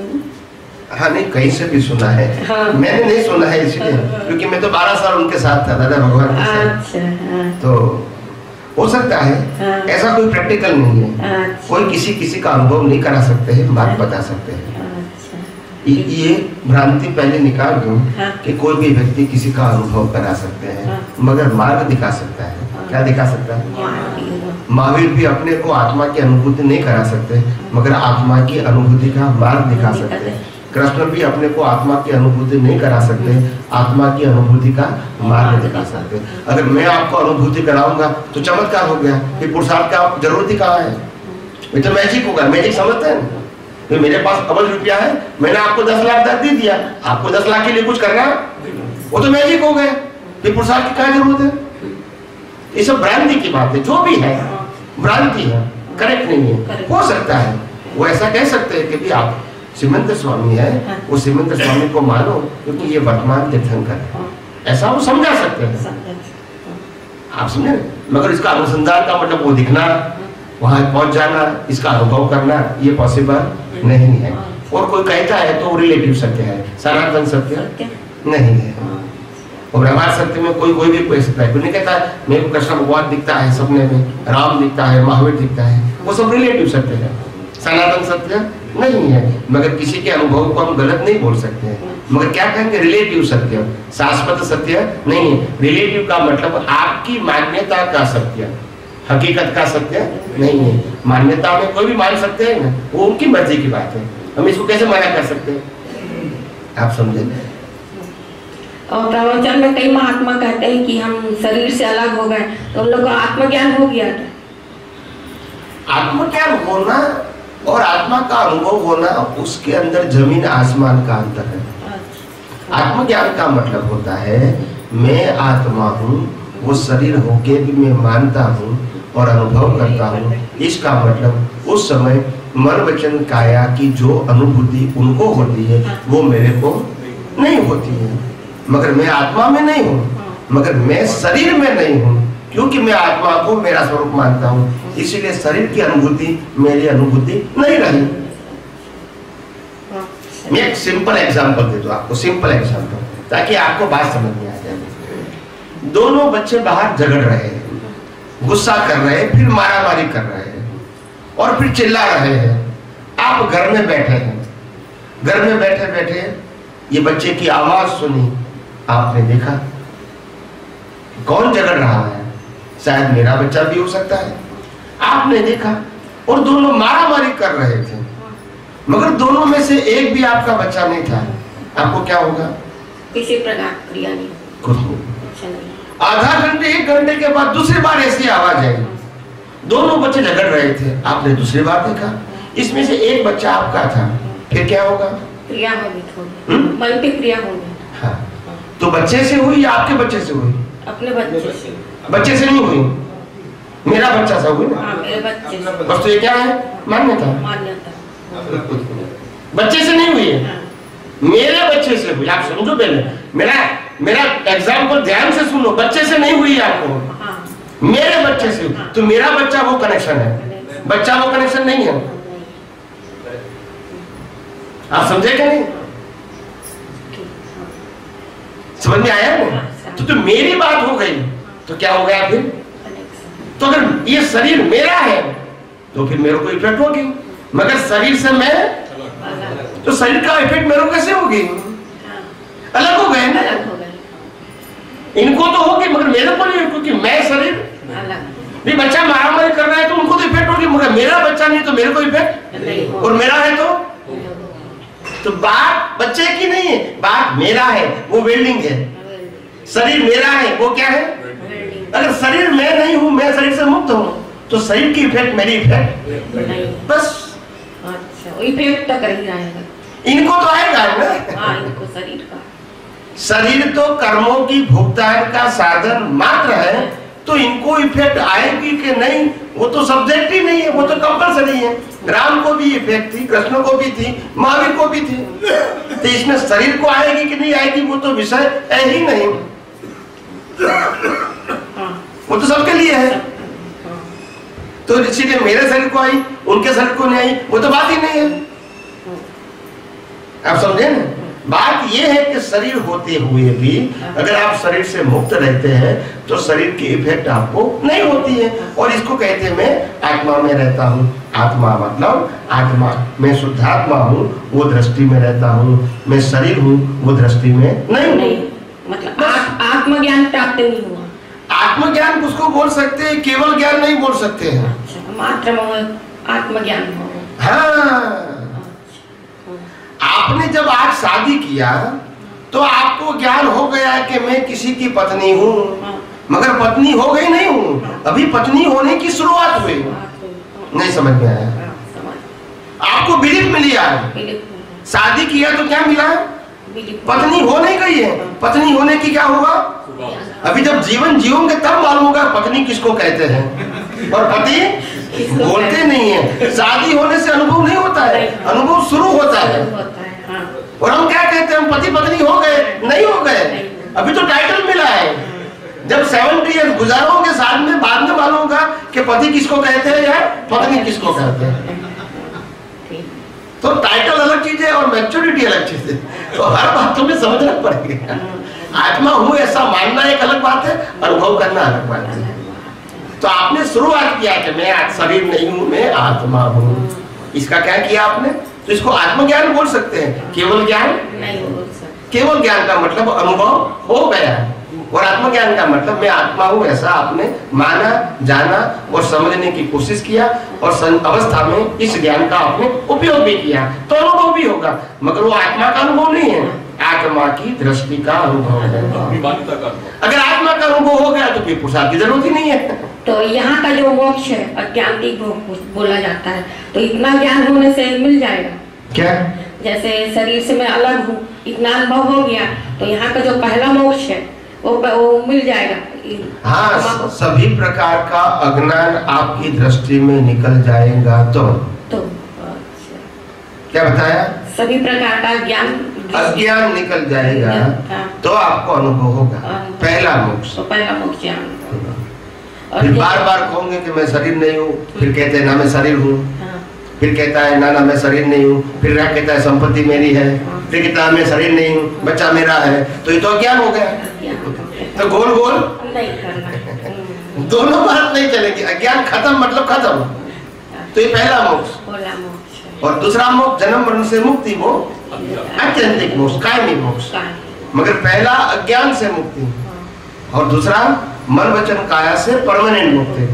फिर जन्म मरण होता है तो दो प्रकार की मुक्ति है। पहले अज्ञान से मुक्ति। हम्म? तो ज्ञानी पुरुष जब ज्ञान देता है तो अज्ञान से मुक्ति की शुरुआत होती है। एंड आपको टाइटल दिया जाता है कि तुम शरीर नहीं तो शुद्ध आत्मा हो। तुम जड़ नहीं, चेतन हो। तुम टेम्पररी नहीं परमानेंट हो हाँ जैसे चरण विधि पढ़ते हैं। पढ़ने के बाद थोड़ा आधा घंटा तक अंदर रहता है सब बाद में फिर वैसी सब हो जाता है। वही तो होता है खाना खाते तो वही होता है हाँ, दिन चार बार तो खाना पड़ता है। जितना खाओ डाइजेस्ट जितना खाओ डाइजेस्ट कितने भंडार खत्म हो गए मगर ये भंडार भरा नहीं कभी तो ऐसा है। हाँ, अज्ञान में का बहुत बड़ा भंडार है। अच्छा, कितना भी माइनस करते रहो तो भी उगलता रहता है क्योंकि इतना लपेटा है हमने अच्छा, तो सभी प्रकार की अज्ञान से मुक्ति पाना पड़ेगा। तभी पहली मुक्ति होगी। क्या बताया? पहली मुक्ति तभी होगी ज्ञान से। अच्छा, लोग लोग क्या कहते हैं कि ये दुनिया कैसे चलती है? मैंने बोला ये दुनिया बिलीफ से चलती है। बिलीफ बिलीफ समझते हैं ना? बिलीफ का मतलब होता है मान्यता। मान्यता से चलती है। तो बोलता है स्वामी जी ये मान्यता इतना बड़ा काम करती है। मैंने बोला आप क्या समझते हो मान्यता की ताकत बिलीफ की ताकत क्या समझते हो? एक बार शादी कर दिया 20 साल की उम्र में और 70 इयर्स की रिस्पॉन्सिबिलिटी लेते हैं बिकॉज़ ऑफ़ बिलीफ बोलते नहीं शादी के साथ फिर पढ़ लिया और 70 इयर्स की ज़िम्मेदारी ले लिया। ये ये बिलीफ का पावर कम है क्या? ना तुम छोड़ सकेंगे, ना वो छोड़ सकेंगे। यही तो बिलीफ का बंधन है। तो ये बंधन छोटा नहीं है। तो ये बिलीफ का पावर तो बिलीफ का पावर ऐसा है जो हमारी खुद की मान्यता है, वो शाश्वत मान्यता नहीं है। तो आत्मा का पावर कैसा होगा? जो शाश्वत है, ये तो बिलीफ का पावर है। तो आत्मा का पावर कैसा होगा। जिसकी हाजिरी में बिलीफ है। आत्मा नहीं है तो बिलीफ भी। नहीं रहेगी। स्वामी जी जैसे अनुभवी ज्ञानी पुरुष अपने को अनुभवी ज्ञानी पुरुष मिलने के बाद क्या ज्ञान विधि की ज़रूरत है क्या? अनुभवी ज्ञानी पुरुष जो उनकी जो मेथड होती है वही ज्ञान है।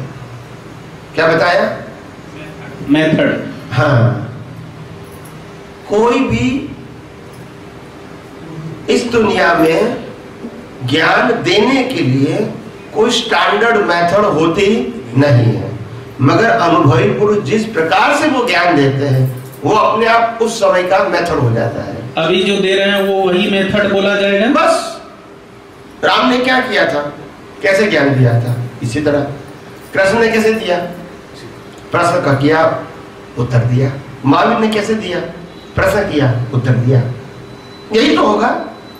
और दादाजी जो शुद्धात्मा शुद्धात्मा बुलाते थे वो वो भी वो, मेथड वो उनके माध्यम से मेथड थी। वो कोई भी मेथड सनातन सत्य नहीं होती है।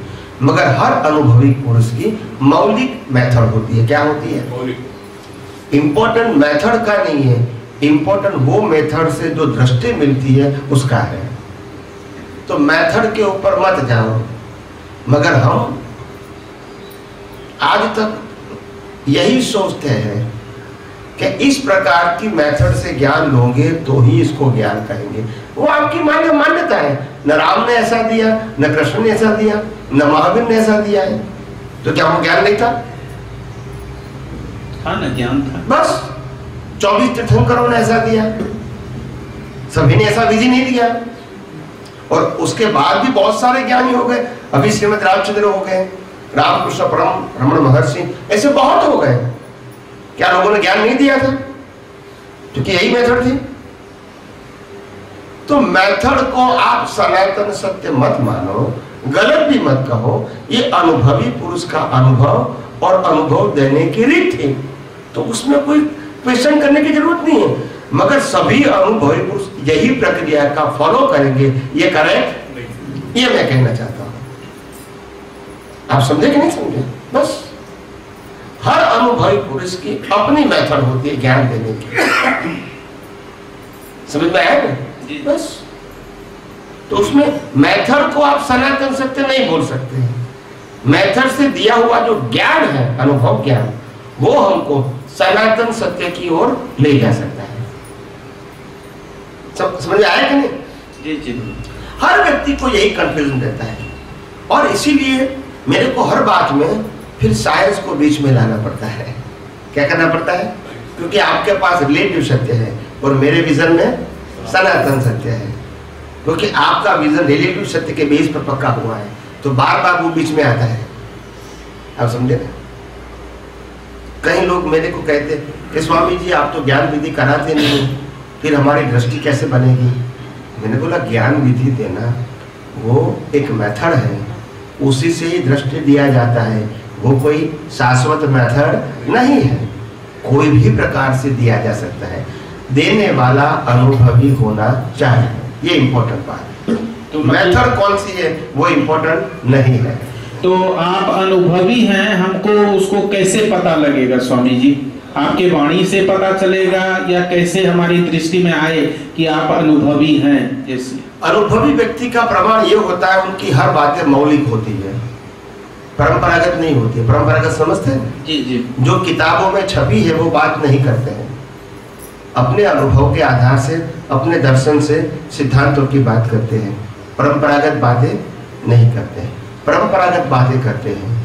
इसको साधु संत या सन्यासी बोलते हैं। या तो स्थूल भाषा में इसको टीचर बोलते हैं। टीचर समझते हैं जो। सिलेबस के मुताबिक पढ़ाते हैं।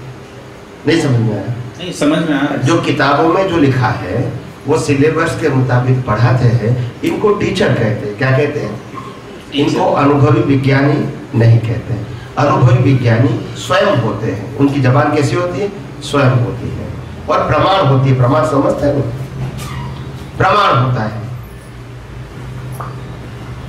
तो अनुभवी व्यक्तियों का प्रमाण होता है। और दूसरी बात ये होती है कि अनुभवी व्यक्ति जो होते हैं वो क्या करते हैं?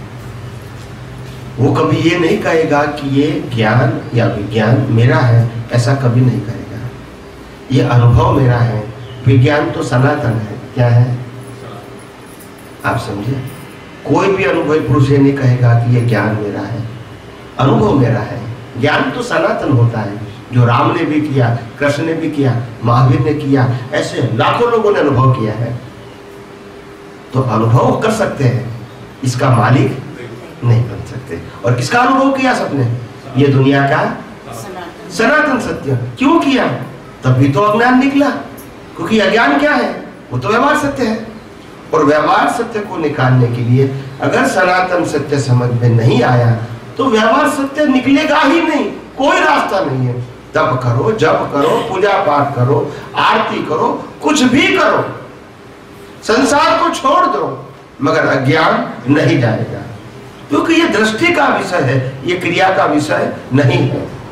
और जब दृष्टि में जब सनातन सत्य की दृष्टि नहीं होगी तो व्यवहार सत्य रूपी अज्ञान कैसे जाएगा? अगर राम को मान, राम को छोड़ के अगर आप महावीर को मानेंगे तो भी अज्ञान नहीं जाएगा। महावीर को छोड़ के शिव को मानेगा तो भी अज्ञान नहीं जाएगा। शिव को छोड़ के स्वामीनारायण को मानेगा तो भी अज्ञान नहीं जाएगा। क्योंकि आपने अज्ञान को चेंज किया, निकाला नहीं है। और जितने भी नाम लोगे ये सब रिलेटिव सत्य है। मगर जब आप परमात्मा की पहचान करोगे कि मैं खुद ही परमात्मा हूँ और ये सभी जीवों के अंदर वो ही परमात्मा है तब आपने सनातन सत्य की पहचान की है। क्या किया? बाकी तो व्यवहार सत्य था। मैं किसी का भाई हूँ बहन हूँ माता हूँ पिता हूँ पति हूँ पत्नी हूँ ये व्यवहार सत्य है। तो व्यवहार सत्य से अज्ञान जाएगा? अज्ञान चेंज हो सकता है। अज्ञान जाएगा नहीं।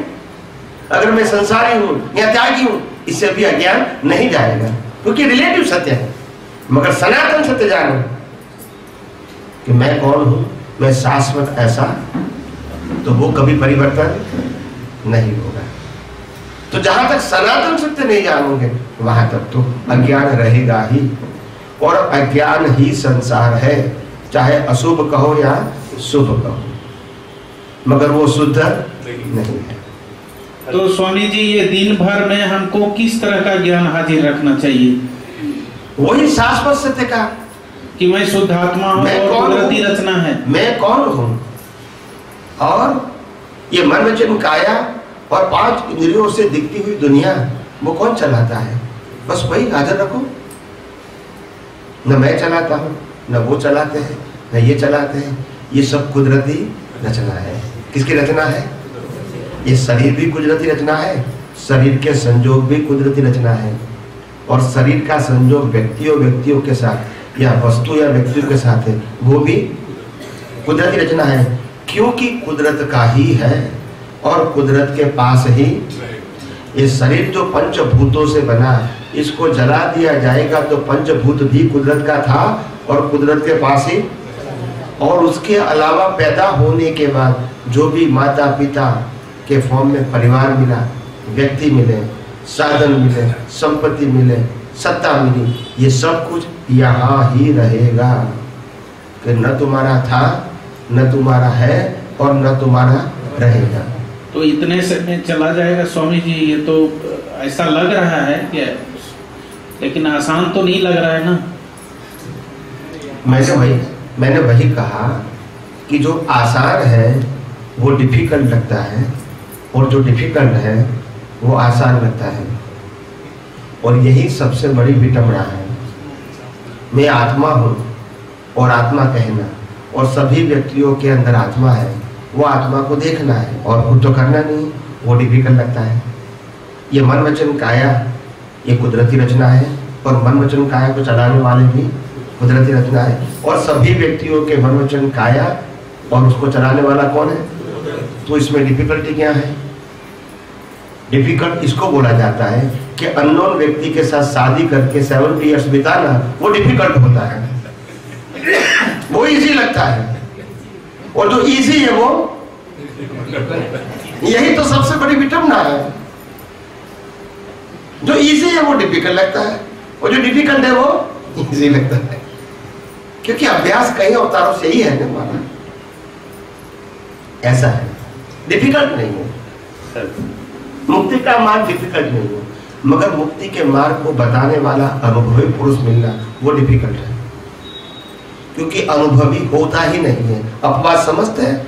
जी जी जी। अपवाद होता है। सब किताबों के ज्ञान वाले होते हैं। क्या होते हैं? अच्छे अच्छे प्रवचनकार अच्छे अच्छे कथाकार अच्छे अच्छे महान पुरुष जो होते हैं जो शास्त्रों को अच्छी तरह पढ़ाते हैं वो सभी शास्त्र ज्ञानी हैं। वो अनुभवी ज्ञानी अनुभवी ज्ञानी और शास्त्र ज्ञानी में अंतर क्या है? अनु शास्त्र ज्ञानी होता है वो शास्त्र पढ़ते हैं शास्त्र समझते हैं और दूसरे को शास्त्रों को समझाने की कोशिश करते हैं। उसका बेज क्या है? शास्त्र। है। और अनुभवी पुरुष जो बोलते हैं इससे शास्त्र बनते हैं। मगर वो शास्त्र से नहीं बोलते नहीं समझ में आया। नहीं समझ में आ रहा है स्वामी जी। राम ने राम ने जो भी कहा वो शास्त्रों में से कहा। कृष्ण भगवान ने जो भी कहा शास्त्रों में से कहा। महावीर ने जो कहा शास्त्रों में से कहा। तो कहाँ से कहा?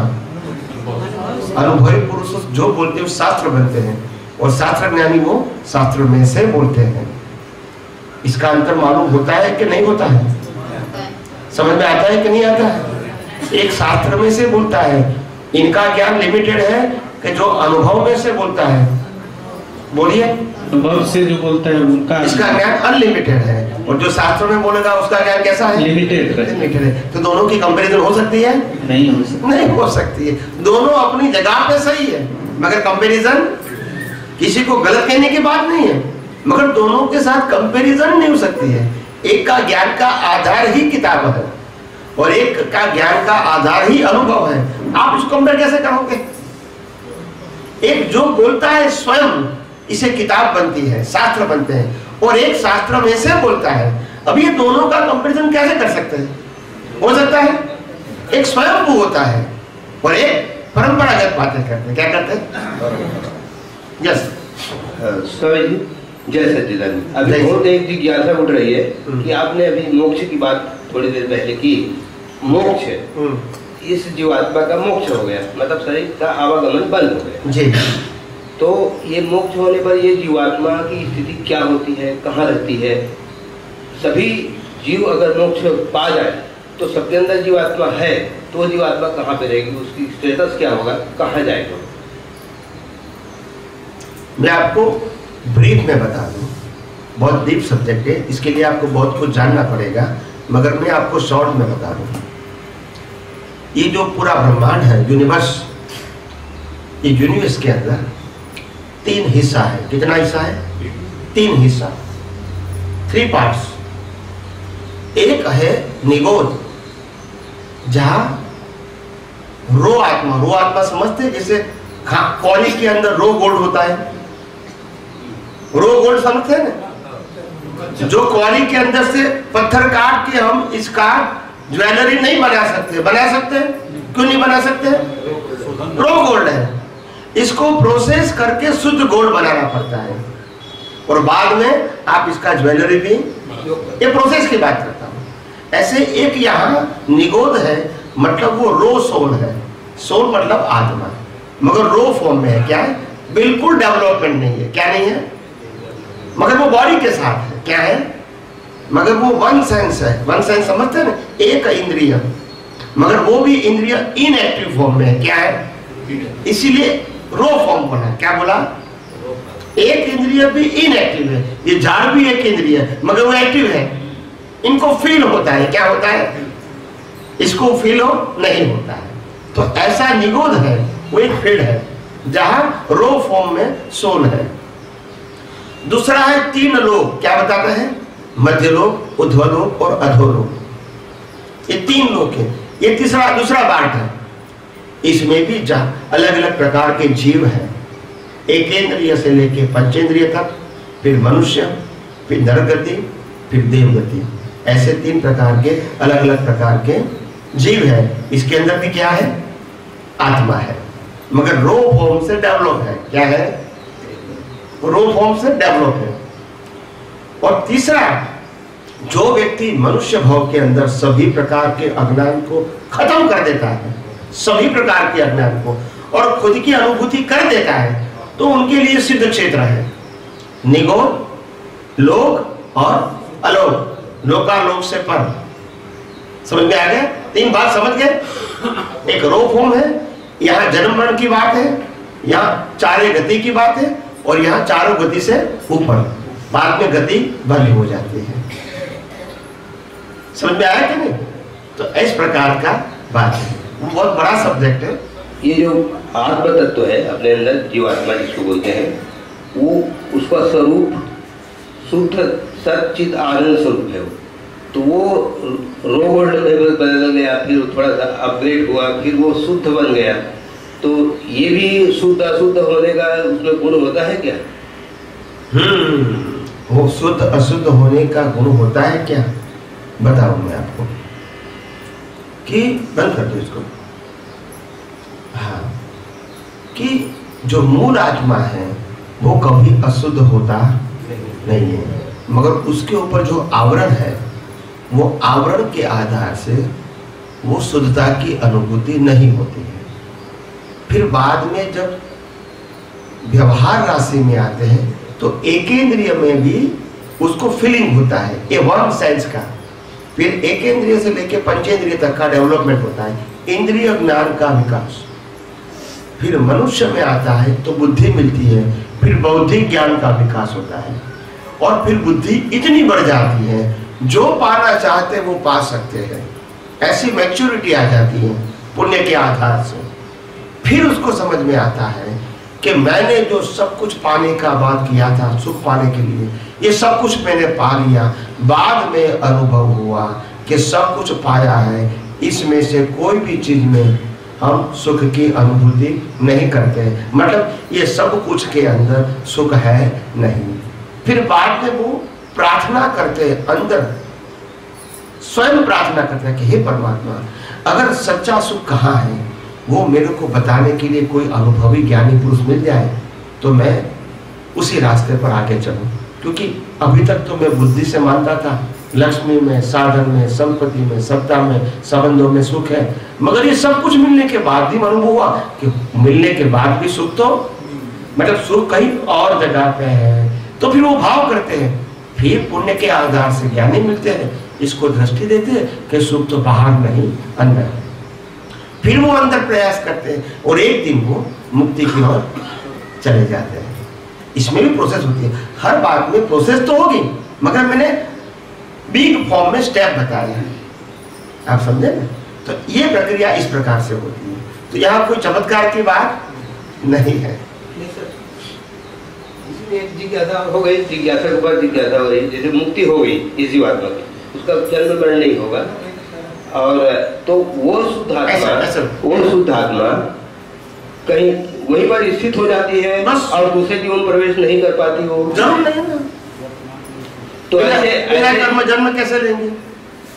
या ऐसी ही शुद्ध आत्मा जो एक स्थिति पहुँच गई उसकी जो पुनर्जन्म नहीं होता या देहधारी नहीं बन सकता हम्म। तो वो शुद्ध आत्मा कहाँ पर रहती है उसका स्वरूप कहता है उनका ठिकाना क्या होता है? मैंने कहा सिद्ध क्षेत्र।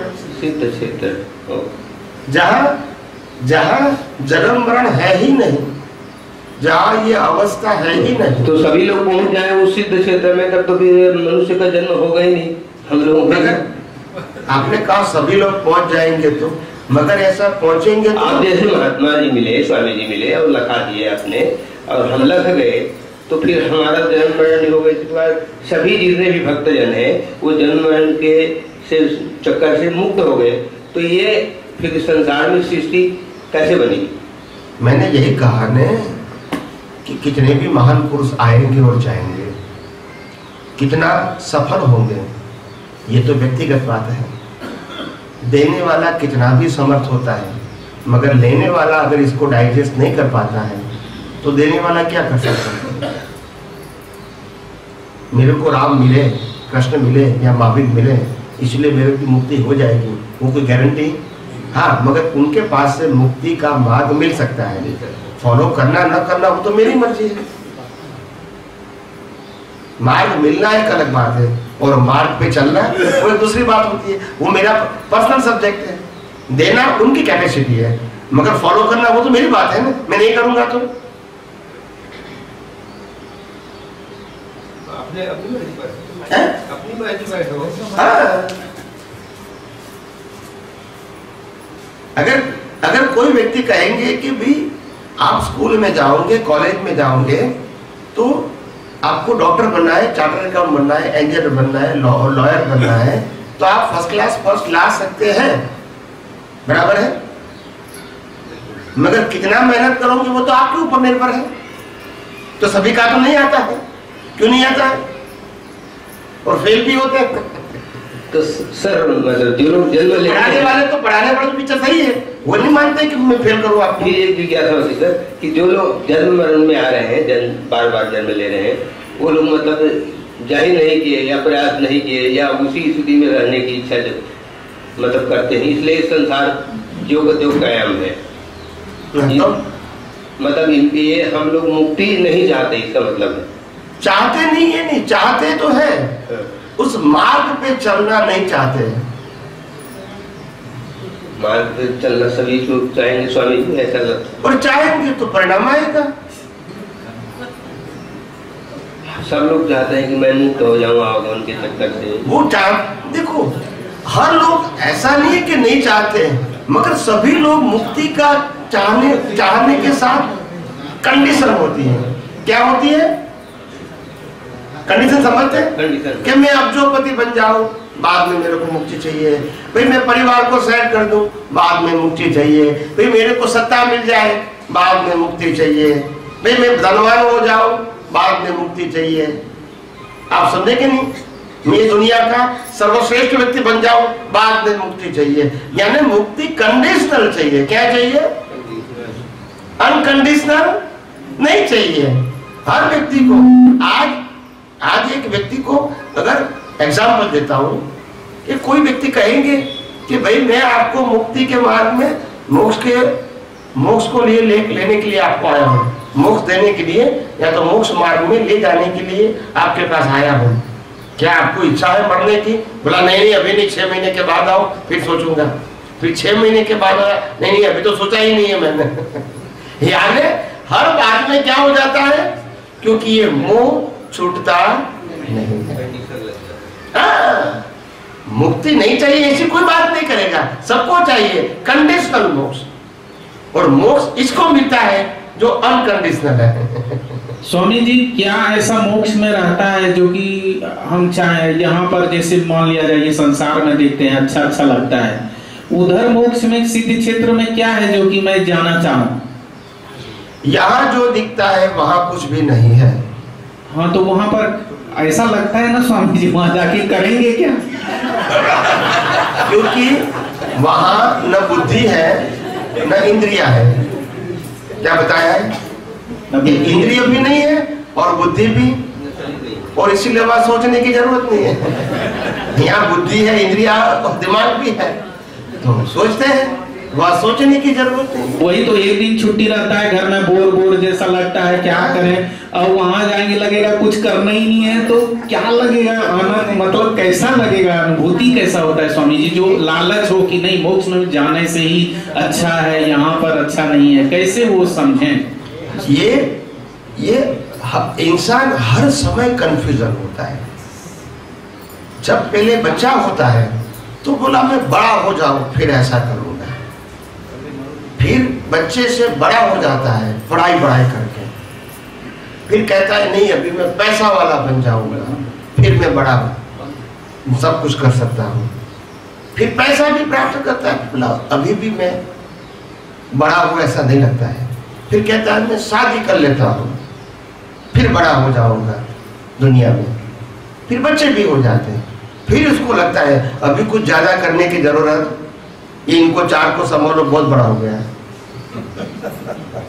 तो ये सोच होती है क्या होती है? बड़ा क्या बनना है? ये दुनिया में बड़े कौन है? वो तो बताओ। हर व्यक्ति अपने कर्मों के मुताबिक जी रहा है। आज है और कल? आज सत्ता है कल? आज संपत्ति है कल? आज हाथ पाँव हिल रहे हैं कल? आज इंद्रिया काम कर रही है कल? नहीं काम करेंगे। क्या करोगे? तो ये कोई शाश्वत चीज़ है कोई? आप समझे कि नहीं? पहले पचास साठ साल हमने पैसा कमाने में बिताए। क्या किया? पचास और साठ साल पैसा कमाने में, प्राप्त करने में बताए। और साठ साल के बाद वो पैसा जो बचाया था तो शरीर को सजाने में लगा दिया फिर। पहले पैसे के लिए शरीर को खर्चा, फिर शरीर के लिए पैसे को खर्चा। और जब मर गए तो कुछ साथ में तो आखिर आपने पाया क्या? नहीं समझ में आया। समझ में आया कि नहीं तो कोई बात ही नहीं है ऐसी कोई पाने की। ये सब इसीलिए इसको कहते हैं माया की। ये समझना आसान। आप उससे ऊपर उठोगे तो मालूम होगा कि माया की जाल क्या है। नहीं तो माया की जाल माया के रूप में समझ में नहीं आएगी। मोह के रूप में इसमें सुख है, इसमें सुख है, इसमें सुख है। ऐसा ही आपको लगेगा। आप ऊपर उठ के देखोगे तो मालूम होगा, ये सब माया की जाल है। अलग अलग प्रकार के पिंजरे हैं। क्या है? पिंजरे हैं। ये आनंद जो होता है ना, आज संसार में जो आनंद है ना, वो पिंजरे का आनंद है। किसका आनंद है? किसका आनंद है? हाँ ये सच्चा आनंद नहीं है। कभी लोहे का पिंजरा, कभी सिल्वर का पिंजरा, कभी डायमंड का पिंजरा, कभी गोल्ड का पिंजरा। मगर पिंजरे से बाहर निकलने का आनंद नहीं है। अलग अलग प्रकार के पिंजरे हैं, क्या है? बाहर निकलेंगे तो मालूम होगा कि आनंद क्या चीज़ है। आप समझे ना? ये अलग अलग प्रकार के पिंजरे हैं, क्या है? बाहर निकलना इतना आसान नहीं है। जहाँ तक सच्ची समझ नहीं आएगी, सच्ची दृष्टि नहीं मिलेगी, सच्ची सोच नहीं रहेगी, बाहर निकलना आसान नहीं एक पिंजरे में से दूसरे पिंजरे दूसरे पिंजरे में से तीसरे पिंजरे में जाता है। और जब पिंजरा छोड़ता है तो उनको लगता है हाँ छोड़ गया। मगर नया पिंजरा आया, वो समझ में है? फिर उससे कम डालता है। फिर तीसरा पिंजरा। मैं जीवन में यही देखता हूँ। हर व्यक्ति क्या करती है? अपने जीवन में व्यवहार की बात तो छोड़ दो, मैं धर्म की बात करता हूँ। लोग क्या करते? भाई, हमने 25 साल राम कृष्ण और महावीर को भजन भजना किया। अभी तक कुछ पाया नहीं। चलो कोई और गुरु को मिल लेते हैं, वहाँ जाते हैं। इससे कंटाल गए। तो उसके पास जाते हैं। एक, दो, तीन, पाँच साल तो लगता है कि कुछ नई चीज़ होती है, थोड़े समय के लिए आनंद आता है। फिर जैसे जैसे पुराने होते हैं, बोला, यह है, यही संसार है, यही राग द्वेष, यही कसा है, यही ककरा है, यही मेरा तेरा। तो वहाँ और यहाँ में कोई फ़र्क? फिर तीसरी जगह जाता है, फिर चौथी जगह। ऐसे पिंजरा परिवर्तन करते हैं। मगर शाश्वत की खोज नहीं करते पिंजरे से बाहर कैसे निकले वो नहीं सोचते हैं। नया पिंजरा ढूंढते हैं। क्या करते हैं? पिंजरा ढूंढते हैं मुक्ति का मार्ग है पिंजरे से बाहर निकलो क्या बताया? पिंजरा का मतलब है रिलेटिव सत्य। क्या बताया?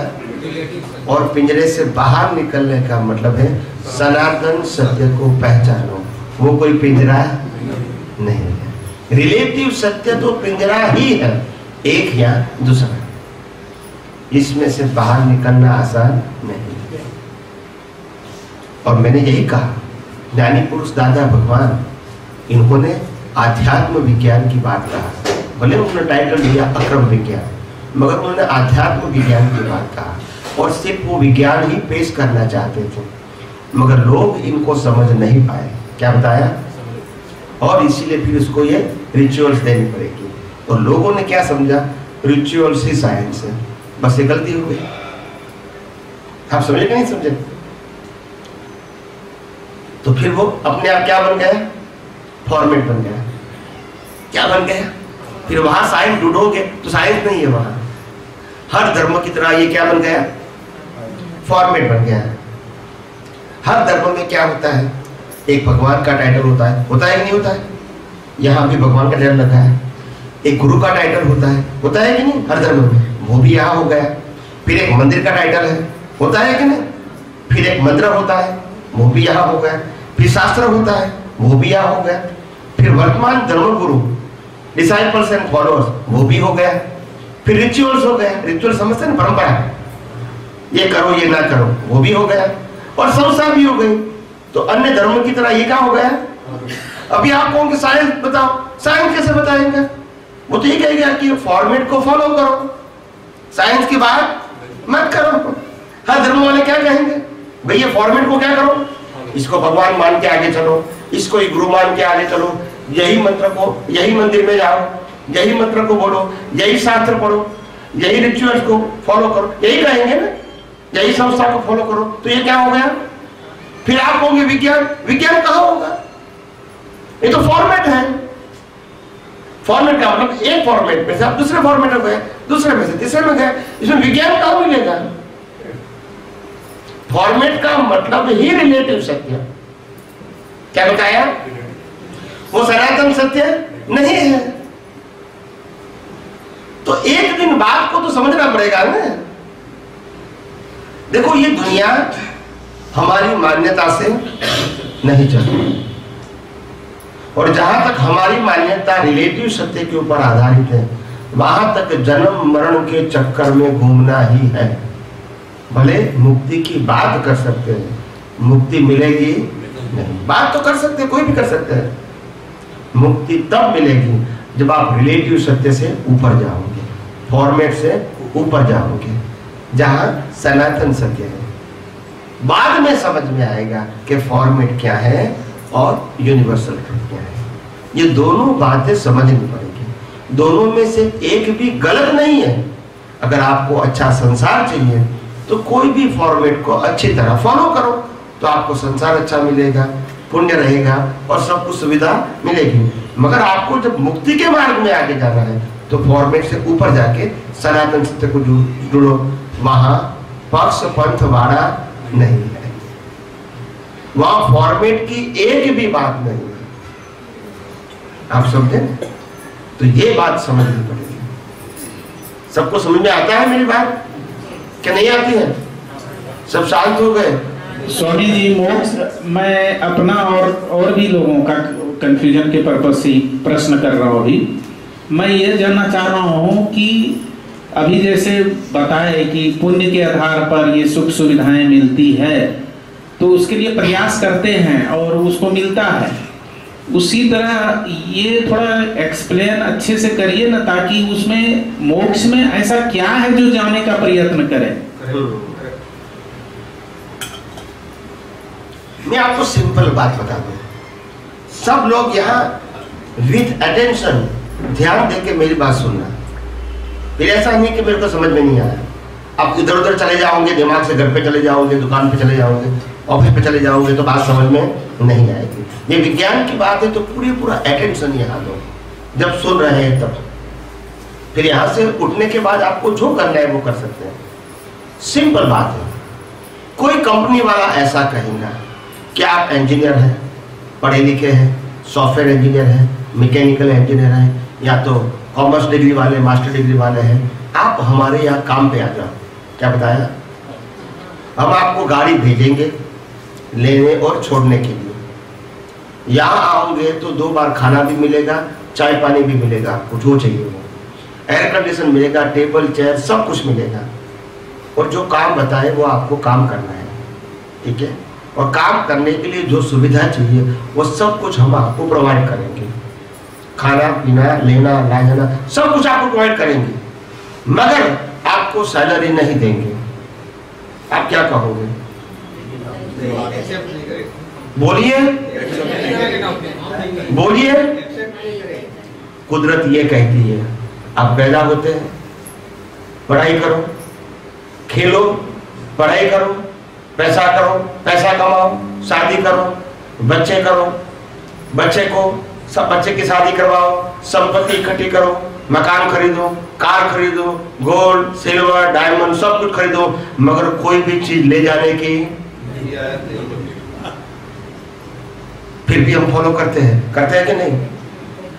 यहाँ ना बोल दिया? यहाँ करते हैं। बोलते नहीं आपको हाथ आके ना तो बोलिए। यहाँ भी नहीं लेंगे पगार देने का मना कर दिया, सुविधा सब मिलेगी। या खुद कहते हैं आपको सब सुविधा मिलेगी। खाना, पीना, रोटी, कपड़ा, मकान, पति, पत्नी, बच्चे, परिवार, लोग, गोल्ड, सिल्वर, डायमंड, पैसा, सब कुछ मिलेगा। कुछ भी ले जाने का हम एक्सेप्ट करते हैं ना? बोलते नहीं हैं। यही अज्ञानता है। है ही नहीं तुम्हारा कुछ। सिर्फ़ मानते हैं। सिर्फ़? यही तो अज्ञानता है। और अज्ञानता को निकालने की मैं बात करता हूँ। यही तो अच्छा लगा ना सुन, यही सुनना चाह रहा था। यही तो सुनना चाह रहा था। आप देखो, यहाँ भी कुछ नहीं लेते तो बोले नौकरी नहीं करेंगे। और यहाँ कुछ भी नहीं करेंगे तो हम काम करेंगे। शादी भी करेंगे, बच्चे भी करेंगे। कुछ भी नहीं ले जा रहे तो भी मेरा मेरा करते रहेंगे और सबको छोड़ते रहेंगे। देखो, कितना कंफ्यूजन क्योंकि हमारी दृष्टि क्या है? सीमित है ज्ञानी की दृष्टि बियॉन्ड है। तो सब कुछ समझते हैं वो। क्या क्या प्रश्न का है? मकसद क्या है? तो ये किताबों की बात नहीं है। क्या नहीं है? मैं जो उत्तर दे रहा हूँ वो किताबों में नहीं है। दुनिया की कोई किताब में नहीं होगा। अभी लोग टीवी में आता है यूट्यूब में आता है, मेरे हज़ारों वीडियो टीवी में है यूट्यूब में है, और उसमें से कोई किताब में लगाएँगे तो एक अलग बात है। मगर मैं किताबों में से बात नहीं करता हूँ। ये मेरा खुद का अनुभव है, मेरा खुद का दर्शन है। आप समझे? और आसानी से मैं उत्तर देता हूँ। आप देखो, मैंने कल भी कहा था, हिंदुस्तान में कितने धर्मगुरु हैं जो प्रश्नों का उत्तर देते हैं? परसेंटेज वाइज वन परसेंट भी है? क्यों नहीं देते हैं? अनुभव नहीं है। कैसे देंगे? शास्त्र तो पढ़ाएँगे, मगर प्रश्नों का उत्तर? कैसे उत्तर देंगे वो? खुद को अनुभव नहीं है तो उत्तर कैसे वो ऐसा बता सकते हैं कि शास्त्रों में ये लिखा है। मेरा अनुभव मगर मैं जितनी बात करता हूँ, ये मेरा अनुभव है। ये शास्त्रों में लिखा है, मैं नहीं बोलता हूँ। तो आप कोई भी प्रश्न करो, कोई प्रकार के प्रश्न करो, यहाँ कोई कंफ्यूजन मेरे को सोचने की भी ज़रूरत? मेरे पास दृष्टि है, मेरे पास विजन है, दर्शन है, उनमें से सब कुछ दिखता है। जैसे कृष्ण भगवान को भी उत्तर कृष्ण अर्जुन ने प्रश्न किए, फटाफट उत्तर दिए दिए कि नहीं दिए? किताबों में पढ़ के दिए? सोच सोच कर दिए? ऑन द स्पॉट दिए, क्योंकि उनके पास क्या था? विजन था, दर्शन था। उनको सोचने की ज़रूरत, वो सभी प्रकार की एग्ज़ाम पास कर चुके थे। तो उनके पास सब अनुभव था। और अनुभव के आधार से जो दर्शन हुआ, उसके आधार से उत्तर दिया। वो कंठस्थ करके किताबों के माध्यम से उत्तर नहीं देते हैं। और यही अनुभवी पुरुष की विशेषता होती है। आप प्रश्न कैसा भी करो, टेढ़ा मेढ़ा करो, उल्टा सुल्टा करो, उनका से उत्तर जो होता है, बिल्कुल सरल और सैद्धांतिक होता है। गोल गोल नहीं होता है। आप समझे ना? तो ये इस प्रकार की बातें करना शास्त्र ज्ञानियों के लिए आसान नहीं है। सिर्फ़ अनुभवी ज्ञानी बोल सकते हैं। और कोई उत्तर नहीं दे सकता। या प्रश्न करना है तो। कोई बात नहीं थोड़ा लेट भी शुरू हुआ था।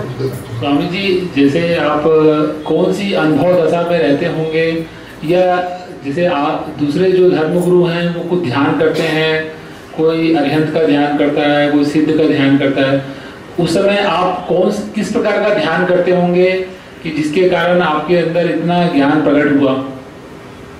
देखो, ध्यान करना और ध्यान में रहना, मेरे ध्यान में यही रहता है कि मैं मन वचन काया से मुक्त ऐसा शुद्धात्मा हूँ। वो मेरे ध्यान में रहता है। मैं करता नहीं हूँ, ध्यान में रहता है हर अवस्था में। और दूसरा रहता है कि ये मन वचन काया और पाँच इंद्रियों से देखती हुई पूरी सृष्टि, ये कुदरती रचना है। इसको बनाने वाला, चलाने वाला कोई है नहीं, सिर्फ़ कुदरत है। बनाने और चलाने वाला कुदरत है, इंसान नहीं। आप समझे? यही विजन मेरे को 24 फोर आवर्स रहता है। मैं जागूं या सो जाऊँ? क्योंकि ये शरीर का स्वभाव है, जागना सोना।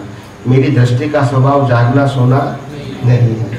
तो आम लोगों की ये बात कैसे मालूम होगी? क्योंकि आम लोग तो शरीर देखेंगे नहीं और हमारा विजन शरीर से क्या है? बियॉन्ड है रामकृष्ण महावीर को भी सोना पड़ता है, मगर उसका विजन सोता है। वो आम इंसान को कैसे मालूम होगा? कैसे मालूम होगा? स्थूल बात थोड़ी है।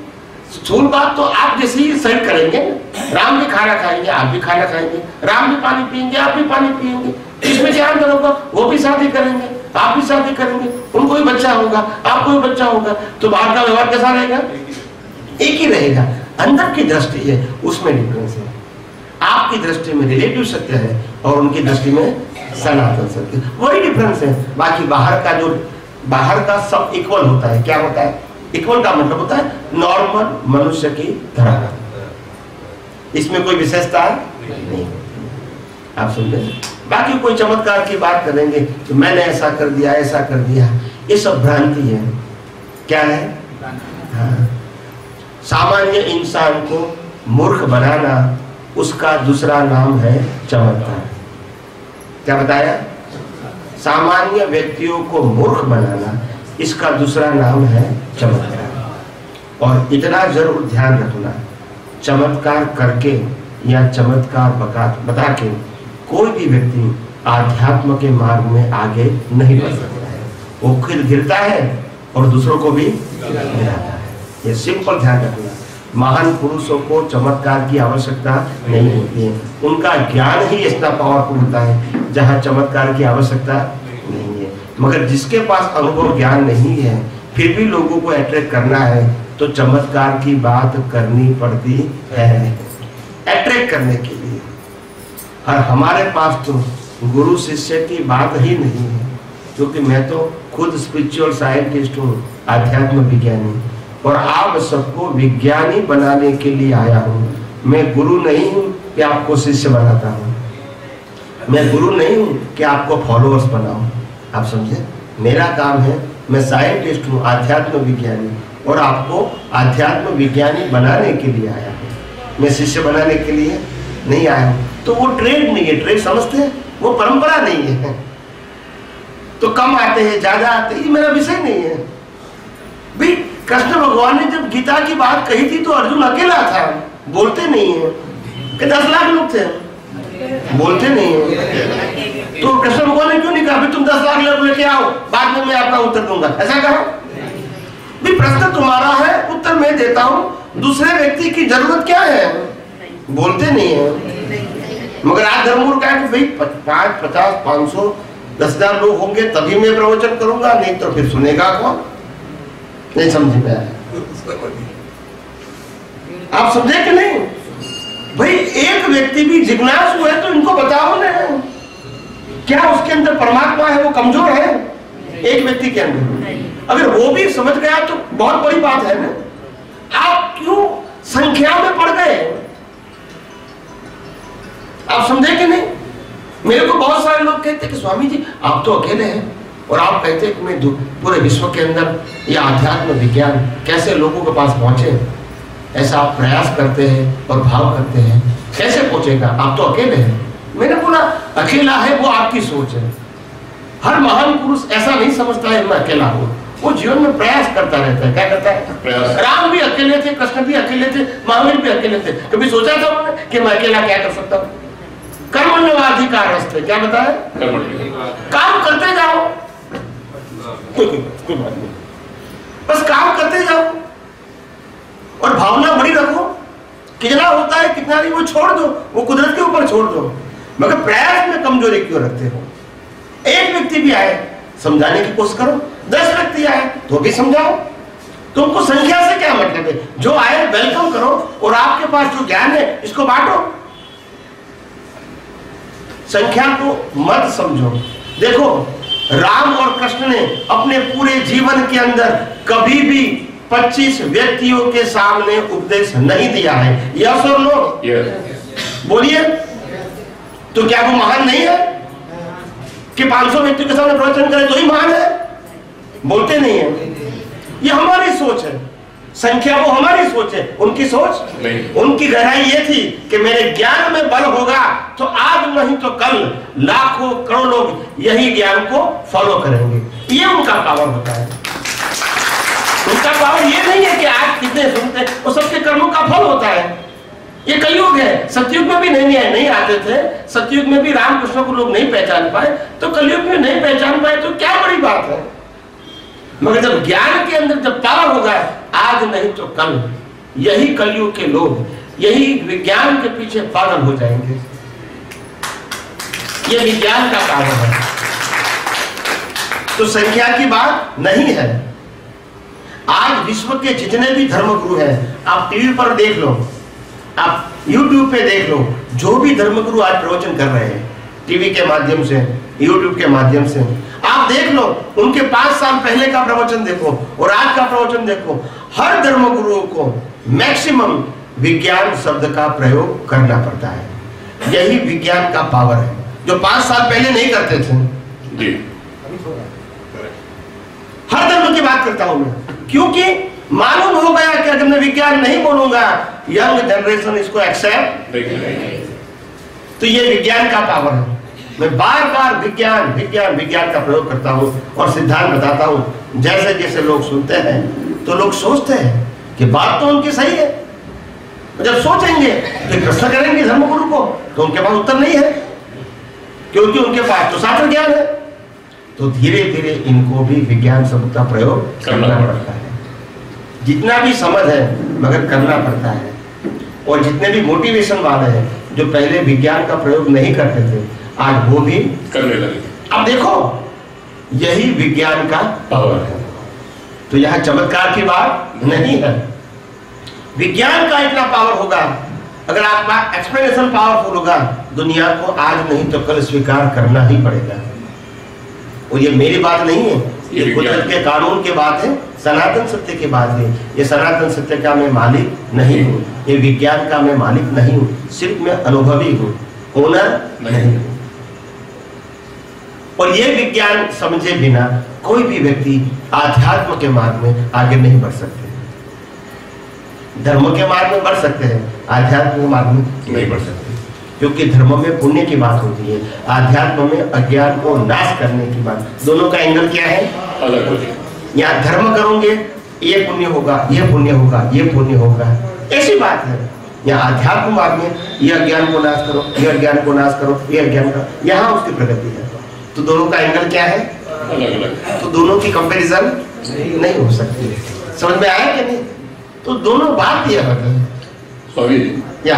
आपके जीवन का ध्येय क्या है आपका? मेरा समय की मर्यादा बता हाँ। मेरे को नहीं आखिरी प्रश्न है। ओके मेरे जीवन का ध्येय यही है कि विश्व के जितने भी थिंकर लोग हैं चाहे कोई भी धर्म के हैं समुदाय के हैं संप्रदाय के हैं जिसको भी बिलीव करता है ये मेरा सब्जेक्ट नहीं है। मेरा एक ही सब्जेक्ट है कि दुनिया के सनातन सत्य को वो जाने समझे और अनुभव करे। ये मेरा सब्जेक्ट है। कोई राम को माने, कृष्ण को माने, महावीर को माने, न माने, ये मेरा विषय नहीं है। कोई ये धर्म को माने, ये फॉलो करे या न करे, वो मेरा सब्जेक्ट नहीं है। मैंने कहा फॉर्मेट वो मेरा सब्जेक्ट नहीं है। मगर सनातन सत्य को समझे, माने फॉलो करे, अनुभव करे, और वही अनुभव दूसरे को शेयर करे। यही मेरे जीवन का मकसद है। मैं ये विज्ञान का मालिक नहीं हूँ तो मैं कहूँगा कि मेरे पास ही दुनिया की कोई भी व्यक्ति ये सनातन विज्ञान का अनुभव कर सकते हैं।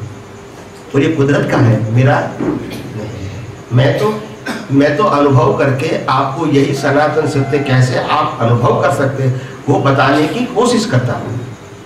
ये सनातन सत्य मेरा, ये आध्यात्म विज्ञान का मैं मालिक नहीं हूँ। आध्यात्म विज्ञान का मैं प्रेजेंट कर रहा हूँ। क्या कर रहा हूँ?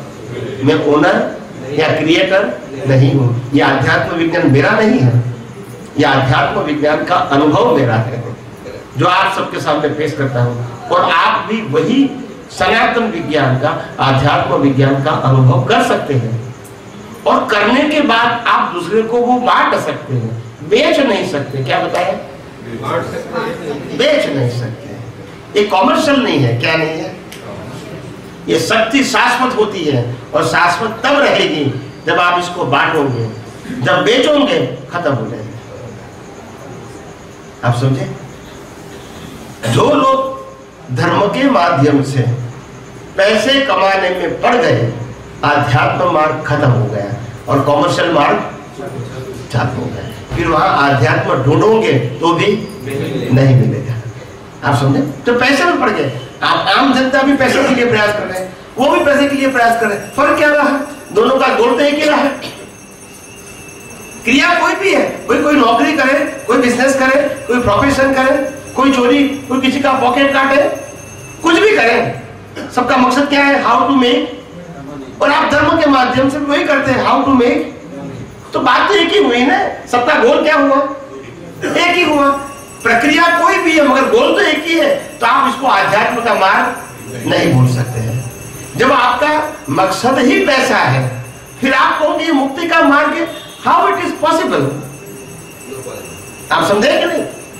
मुक्ति का मार्ग इसको कहते हैं कि मैं मुक्त हूँ और मैं मुक्त रहना चाहता हूँ और मेरे पास जो भी आए, वो भी मेरे साथ मुक्ति का अनुभव कर सके।